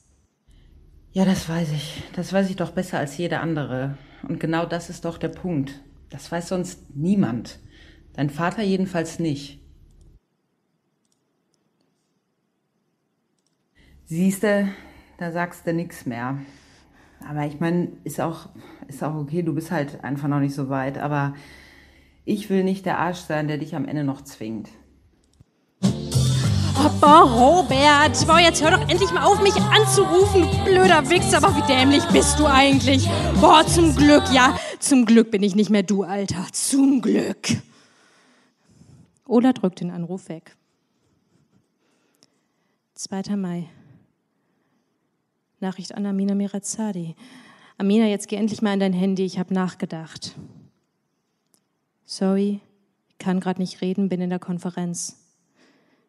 Gut, gut dann ebenso. Du hast recht. Ja, du hast recht, ich verstehe dich. Ich verstehe, dass ich selber bereit sein muss. Ich verstehe, dass ich diese Luftnot, die ich immer kriege, wenn ich daran denke, es meinem Vater zu sagen, dass ich mich dem stellen muss. Es meinem Vater zu sagen, da, da haben wir es ja schon wieder. Aber Amina, ich werde das tun. Nicht nur für dich. Du bist nur mein Anstoß. Für mich. Ich kann nicht länger so leben, als wäre ich nicht ich. Ich kann nicht länger die ganze Welt glauben lassen, dass ich irgendwann meinen besten Freund heirate. Ich brauche nur noch ein bisschen Zeit. Bis zu den Sommerferien. Dann, dann ist es nicht mehr so schlimm, wenn ich von zu Hause rausfliege. Dann kann ich bis dahin mit jemandem anders reden, vielleicht ja mit Robert. Also so heißt mein bester Freund. Seine Eltern sind ganz okay und meistens nicht da. Vielleicht kann ich da ja unterkommen. Du machst mich fertig, Ola. Was soll ich denn da jetzt noch machen? Wie soll ich mich denn da jetzt noch von dir fernhalten? Das musst du nicht mehr. Ich bin in dich verliebt, Amina. Ich sage es dir und ich sage es meinetwegen auch der ganzen Welt. Ich stehe auf Frauen. So. Und ich stehe auf dich. Ich werde das nicht länger verstecken. Ich sitze hier gerade in der Redaktion auf dem Klo und lache mich tot. Wieso? Bis jetzt habe ich nicht gewusst, was ich die kommende Woche in die Kolumne schreibe und jetzt weiß ich's. Erzähl. Warum muss es in lesbischen Liebesgeschichten eigentlich ständig um Lesben gehen? Hä? Ja, um Lesben meine ich und nicht um Menschen. Äh, warum ist es in jeder lesbischen Liebesgeschichte ein Thema, dass sie lesbisch ist? Amina, weil ich 16 Jahre alt bin? Okay, Punkt für dich. Ulla scrollt weiter. Ich liebe deine Augen, können wir uns treffen? Ich komme zwei Stunden früher, du auch. Amina Mirazadi, 8., 17., 21. Mai. 24. Mai. Hast du schon mit Robert gesprochen? Antwort an Amina Mirazadi. Es geht im Moment nicht. Der hat nur Augen für so eine bescheuerte russische Akrobatin. Es ist wie in dem Roman, den wir gerade in der Schule lesen. Dafür hat er auch keinen Kopf, obwohl wir dann ein Projekt zusammen machen müssen und für mich sowieso nicht. Bist du sauer deswegen? Ja, irgendwie schon. Seit anderthalb Wochen versuche ich dem zu sagen, was Sache ist, und er stößt mich vor den Kopf und versetzt mich immer und immer wieder.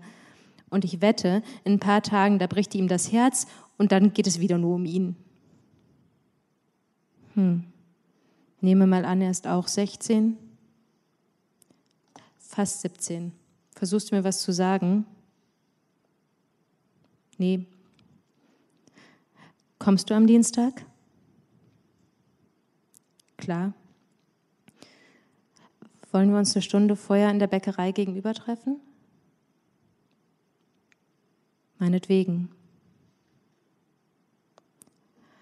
28. Mai, 17.15 Uhr, Nachricht von Amina Mirazadi, wo bist du? 22.50 Uhr, ich kam mir ganz schön blöd vor, so alleine vor der Bäckerei. Grenzt jetzt doch wieder weg, jetzt wo du nicht mit diesem Robert reden kannst. 30. Mai, hättest zumindest mal antworten können. Irgendwas. 1. Juni, du fehlst mir und ich mache mir Sorgen um dich. Hast du Stress mit deinem Vater, dass du dich nicht meldest? Aber der kommt doch eigentlich erst nächstes Wochenende zurück, oder?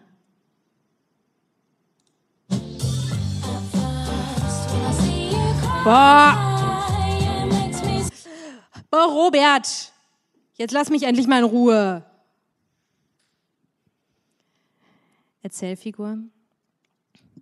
Und das, was weniger offensichtlich ist als das äußere Geschlecht, als all die Kurven und Haare und Fortpflanzungsorgane und der ganze Plunder, aus dem wir uns zusammensetzen, das ist manchmal das eigentlich Unerhörte. Das fühlt sich an wie das eigentlich Unerhörte. Ihren neuen Körper, den hat Ola hingenommen, als wäre sie er immer Teil von ihr gewesen, was er nur streng genommen auch war. Die Erkenntnis jedoch, dass sie nichts über die Liebe wusste, als sie noch Robert von Balsa war, trifft sie hart. Die Einsicht, dass ihr früheres, unwissendes Ich immer noch hochnäsig durch die Welt läuft und glaubt, sie jederzeit zurückerobern zu können, wenn es sich beim nächsten Mal nur ein bisschen geschickter anstellt, verbessert die Situation ebenfalls nicht. Ulla am Telefon.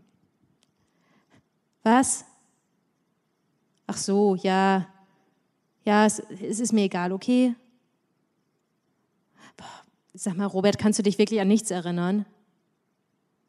Nein, das ist keine Anspielung. Das, ach, was, vergiss es einfach, okay?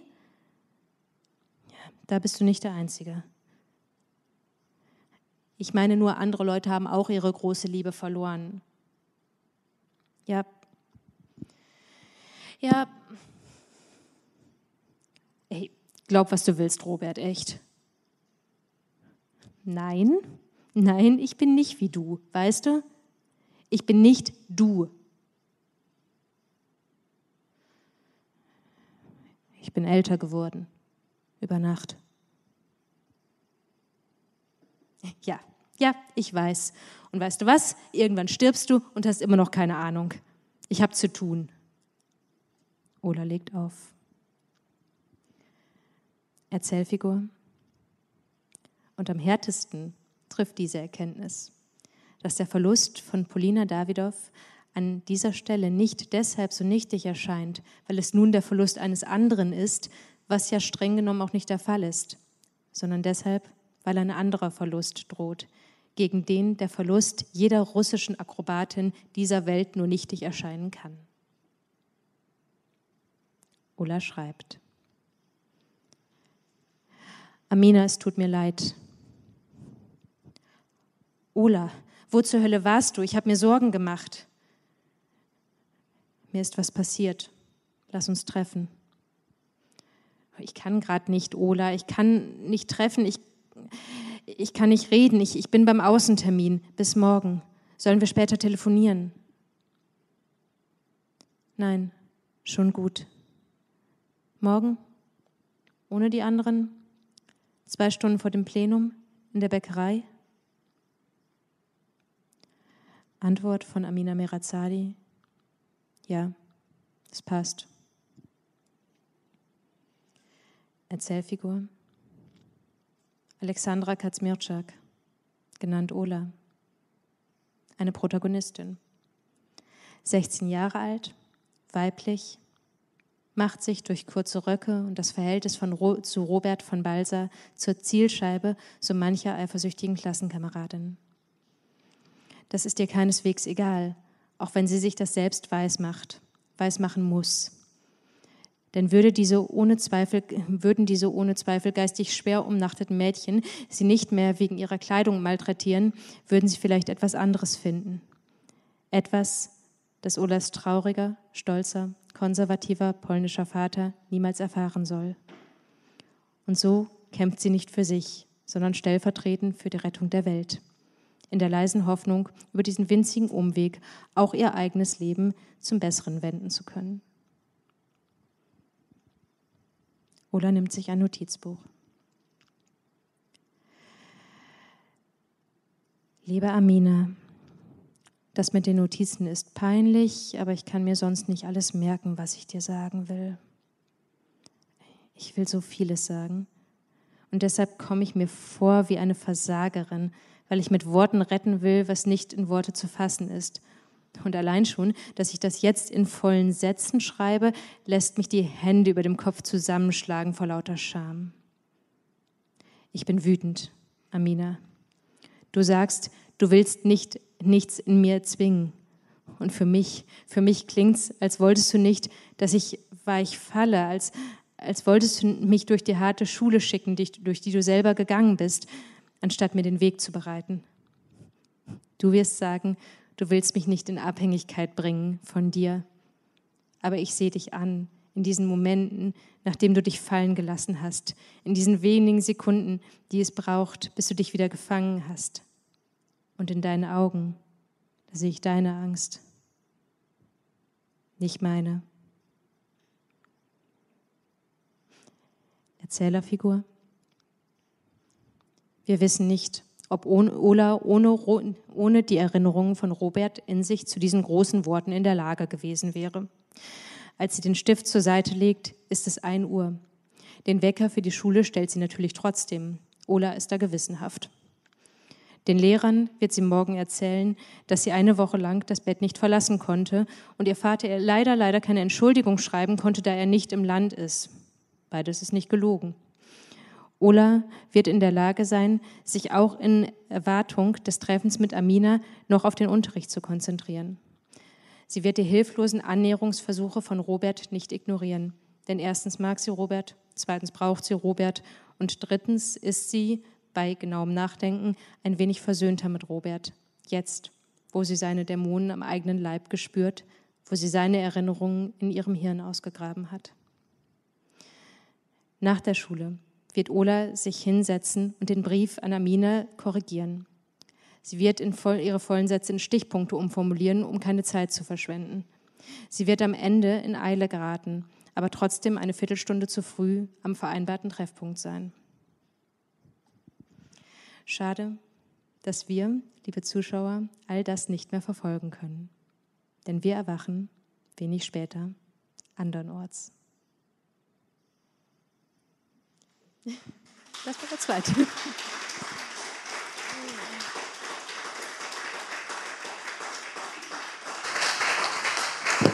Dankeschön.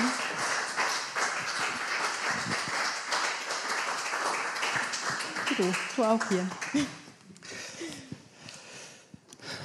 So, das ist hier entstanden? Ähm, dieser Text ist teilweise hier entstanden, ja. Also es sind hier insgesamt neun, bei dem hier habe ich wirklich ungefähr die Hälfte hier geschrieben, würde ich sagen, ja. Seit wann bist du jetzt hier? Ähm, ich glaube, am 8. März bin ich angereist. Und dann habe ich mich eine Woche lang komplett eingeschlossen, weil ich ein Hörspiel fertig schreiben musste, was eine Woche später Aufnahmetermin hatte. Äh, dann bin ich ja nach Hannover zum Aufnahmetermin gefahren, dann bin ich zurückgekommen und dann war Corona. Also ähm, so, ich glaube, so richtig äh, würde ich sagen, seit dem 14. März. Ja, und warum bist du überhaupt hier? Also du bist Stadtschreiber, du bist Stadt Gute Frage, warum bin ich eigentlich hier? Wegen, wegen des Gartens. Warum bist du eigentlich hier? Stadtschreiberin für Rendsburg, die erste, soweit wir das nachvollziehen können, ohne jetzt in Archiven gewühlt zu haben. ähm, vielleicht hat es früher hier schon mal Stadtschreiber oder wahrscheinlich waren es Stadtschreiber gegeben oder Stadtschreiberinnen. Wir wissen das nicht, aber du bist die erste der Neuzeit. Und was macht so eine Stadtschreiberin überhaupt? Ja, also im Großen und Ganzen, das, also dieser Begriff Stadtschreiber, Stadtschreiberin weckt halt immer so eine Assoziation von Archivar, habe ich festgestellt. Ähm, also als würde man da das Stadtarchiv betreuen oder so. Äh, ganz so ist es nicht gedacht, auch wenn der Begriff wirklich sehr historisch klingt. Ähm, Im Großen und Ganzen ist so eine Stadtschreiberei ein Residenzstipendium. Also ein Stipendium, was eben einer Künstlerin und Künstler einen Freiraum für künstlerische Schaffen geben soll. Das heißt, in allererster Linie bin ich wirklich hier, umzuschreiben und um diese Sachen fertigzustellen, ohne dass ich dabei die ganze Zeit darüber nachdenken muss, welchen Workshop ich als nächstes gebe, um irgendwie auch noch Geld zu verdienen. Ähm, also das ist tatsächlich so, so das Hauptanliegen von so einem Stipendium. Ähm, was eigentlich ein Nebenanliegen eines solchen Stipendiums ist, ist, dass ähm, eine Stadtschreiberin eigentlich auch aktiv was zum kulturellen Leben in der Stadt beitragen soll. Also sich da in irgendeiner Form einbringen, eben zum Beispiel durch solche Workshops, durch Lesungen, durch ähm, Kurse, durch äh, wirklich alles Mögliche, was man halt eben so literarisch, künstlerisch in der Stadt umsetzen kann. Das ist ähm, ja sozusagen eigentlich auch ein Teil des Ganzen, der äh, hier jetzt aus diversen Gründen, allen voran Corona, ein bisschen zu kurz gekommen ist, meiner Meinung nach. Tja, die Pläne haben sich irgendwie geändert. Ne? Und ja, so äh, du, du, hättest ja, ein Ziel war ja auch bei den Jugendspielen hier in der Stadt Rendsburg, die ein bisschen ja. zu begleiten. Und leider konnten die Jugendlichen nicht kommen. Und du bist, mhm. aber deine Pläne haben sich auch so ein bisschen geändert, oder? Was war dein Ziel, als du hierher gekommen bist? Ähm, ja, kann man so und so sehen. Also ähm, ich weiß, dass ich im November irgendwann mal der Zeitung gesagt habe, dass ich äh, hier an einem Roman arbeiten möchte. Ähm, ich habe ein Romankonzept erarbeitet. Immerhin das kann ich mir dann doch auf die Fahnen schreiben für die Zeit hier.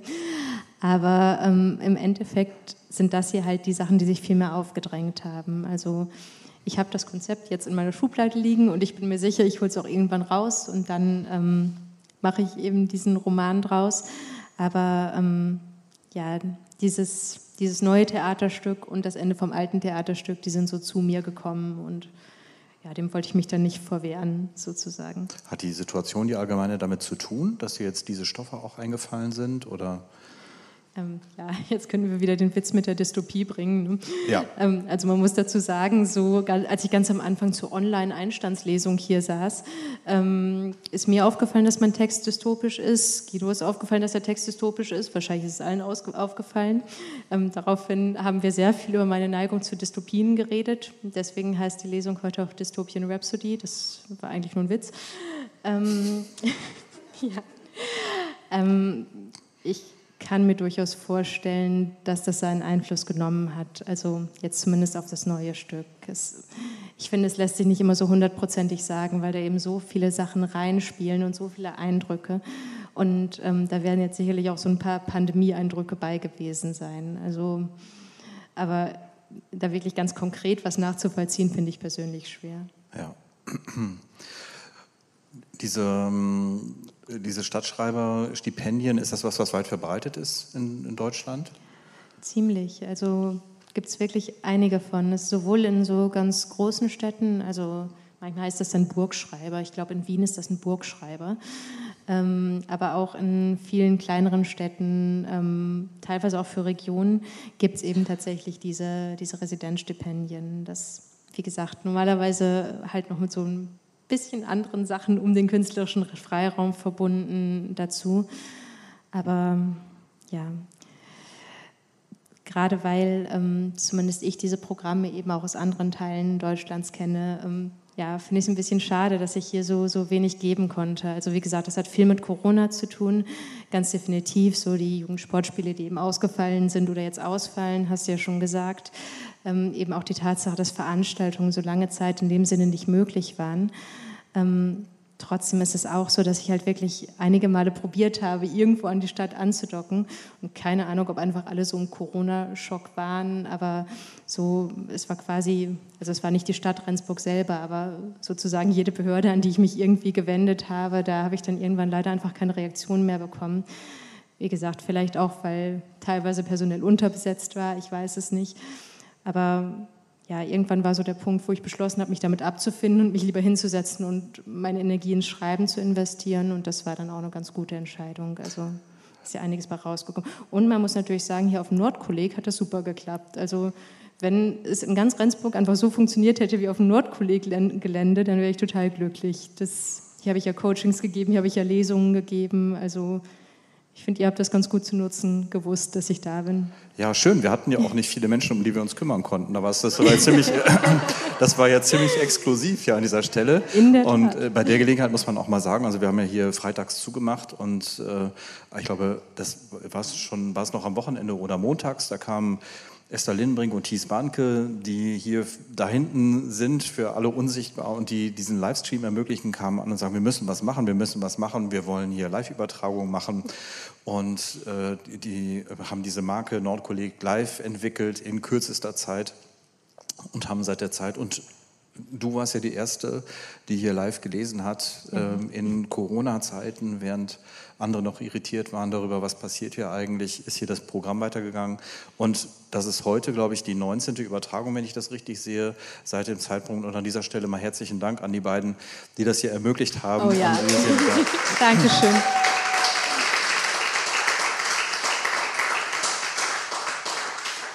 Und dass wir auch Zuschauer haben bei 29 Grad Außentemperatur, das ist ja auch was ganz Besonderes an Sommerabend. Das sind einige, ja. oder?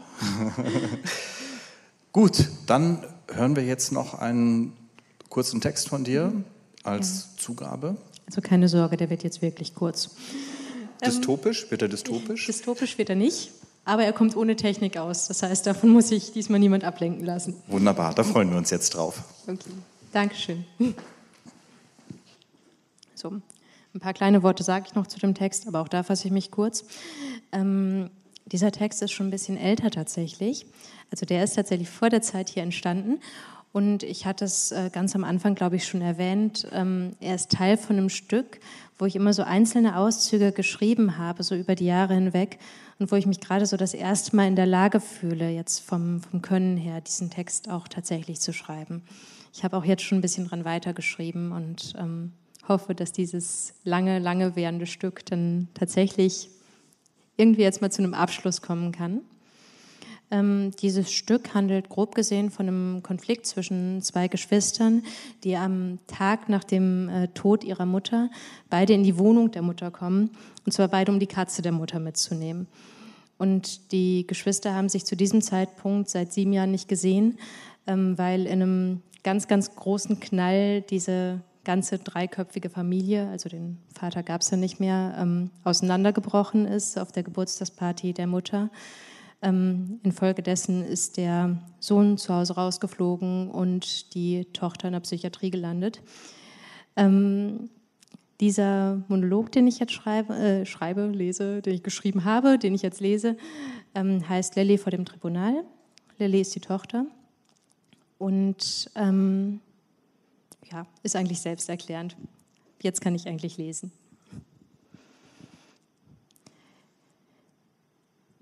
Lilly öffnet die Augen und befindet sich in einem Gerichtssaal auf der Anklagebank. Sie trägt geflochtene Zöpfe und die Sportkleidung eines Kindes.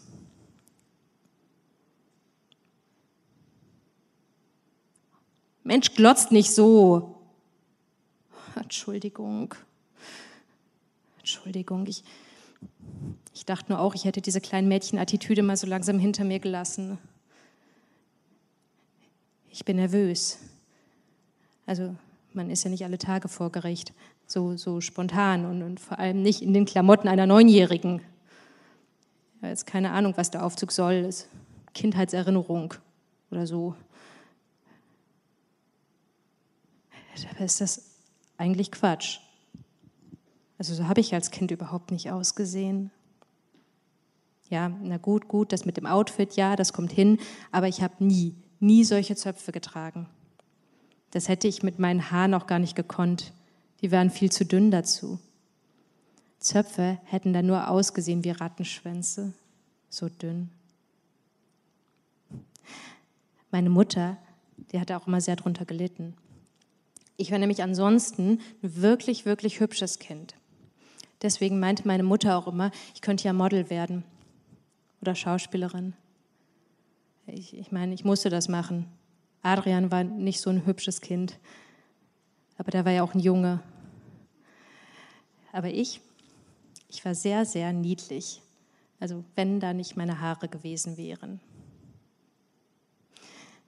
Naja, Model bin ich nicht, sieht man ja. Aber aus meinen Haaren ja, aus meinen Haaren, da ist doch noch was geworden. Das hätte meine Mutter nicht gedacht. Ja, die hätte so vieles nicht gedacht. Ne? Zum Beispiel auch, dass ich jetzt so brotlose Geisteswissenschaften studiere, Religionswissenschaft und Ethnologie. Meine Mutter, die wollte nämlich immer, dass ich Ärztin werde oder Anwältin. Irgendwas mit Prestige halt. Ich war nämlich auch ein ziemlich kluges Kind. Ich hatte immer gute Noten. Adrian, der hatte nicht so gute Noten, obwohl er ein Junge war. Ja, äh, Anwältin bin ich nicht, Ärztin bin ich auch nicht und äh, außerdem habe ich jetzt gerade gar nicht die Wahrheit gesagt. Entschuldige, das, das fällt mir auch jetzt gerade erst auf. Also es, es tut mir leid. Ähm, ich, ich hatte nämlich gar nicht nur gute Noten. Nee, also in, in Sport, da war ich immer ziemlich schlecht. Ich meine, stellt euch das mal vor. Ich hatte schon in der dritten Klasse in Sport eine Vier auf dem Zeugnis. Ja, das muss man erst mal schaffen, in der dritten Klasse. Das war ganz schön peinlich. Haben auch immer alle gelacht. Ich hatte immer so Angst vor Bällen. Fußbälle, ja, die waren besonders schlimm. Als ich mich einmal in der Schule mit meinen Freundinnen gestritten habe, da habe ich dann in der Pause nach Adrian gesucht. Ich dachte, ich könnte in der Pause bei ihm bleiben. Ich meine, sonst kannte ich ja niemanden. Ich habe ihn also gesucht und da habe ich ihn eben auf dem Fußballplatz gefunden. Ich habe mich daneben gesetzt und ich habe nur geschaut.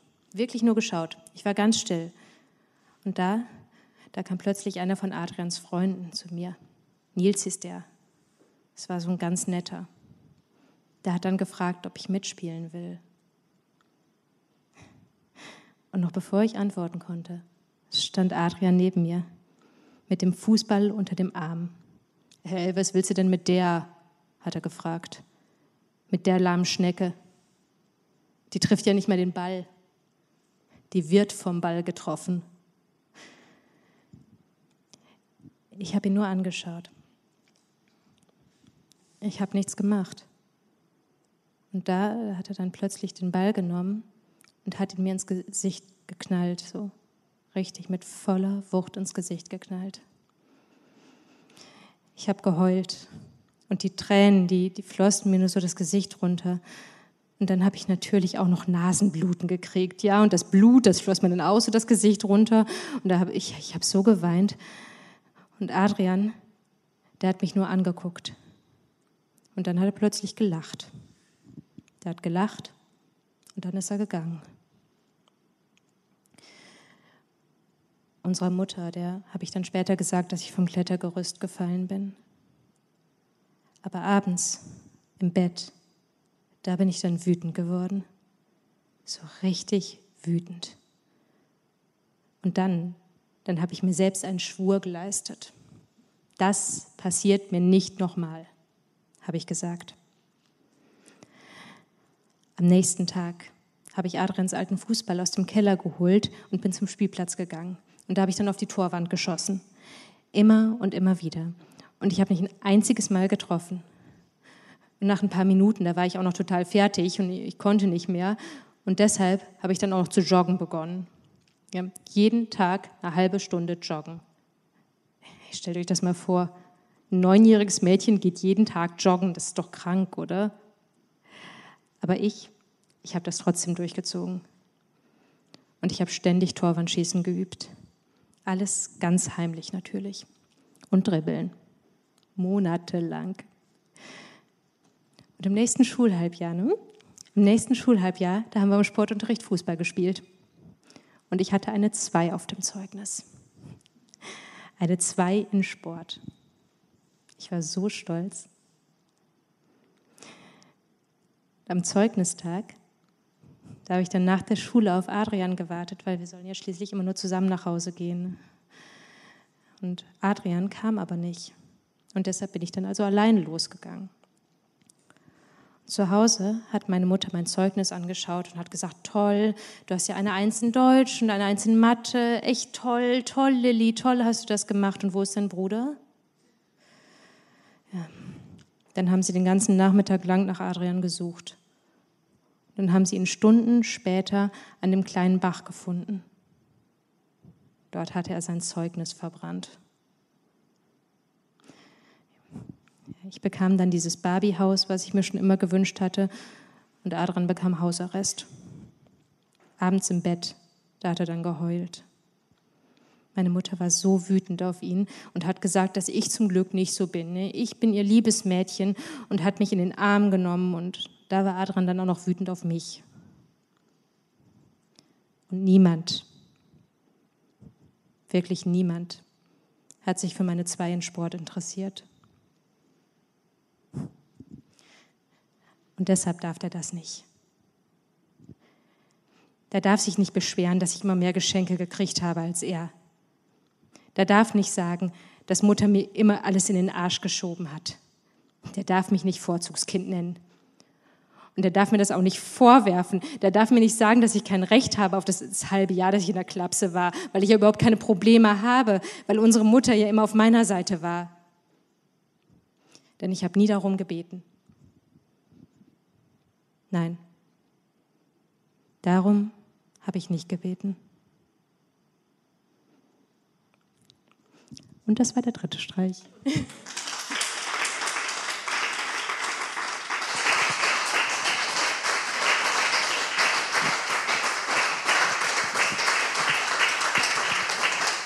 Hallo. Das war der dritte Streich und der letzte für heute. Und ja. verabschieden müssen wir uns voneinander noch nicht, weil du noch ein bisschen hier bleibst. Ja. Und deine nächste Station führt dich dann ans Theater als Dramaturgin. Ganz genau, ans Theater gießen. Und da verarbeitest du dann Stoff für die andere Autorinnen und Autoren geschrieben haben. Sozusagen lernt man auch viel bei, würde ich sagen. Schön. Wann geht das los?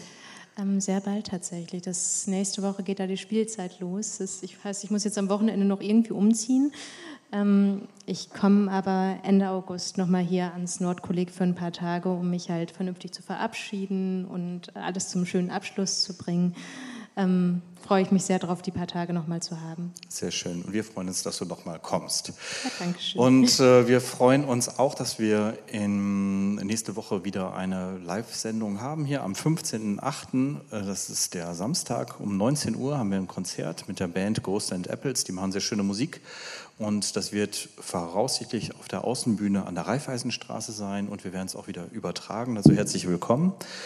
Und dann zwei Wochen später, am Sonntag, den 30. August um 17 Uhr, liest Selina Seemann, eine Poetry Slammerin und Autorin aus Schleswig-Holstein. Und da freuen wir uns auch drauf. Und wir verabschieden uns an dieser Stelle von den Menschen, die uns hier online zugucken. Und wir hier vor Ort können ja noch ein bisschen zusammenbleiben. Und vielleicht hat sich ja aus dem, was du uns hier heute Abend vorgetragen hast, die eine oder andere Frage ergeben. Ich sehe die fragenden Gesichter nicht so sehr, weil die Scheinwerfer hell sind. Aber möglicherweise gibt es da die eine oder andere Frage. Und vielleicht haben Sie Lust, die auch jetzt schon zu stellen. Ich gucke mal. Also wir können auch von meiner Seite aus gerne ein bisschen das Licht anmachen. Jeder kann sich noch was zu trinken holen. Oder so. Vielleicht. Ja. Ja. Und dann sehen wir uns im Abstand an der Bar. Sehr ja? gerne. Falls die Zuschauer im Stream mich noch hören, tschüss auch von mir. Und tschüss und herzlichen Dank. Marisa Wendt.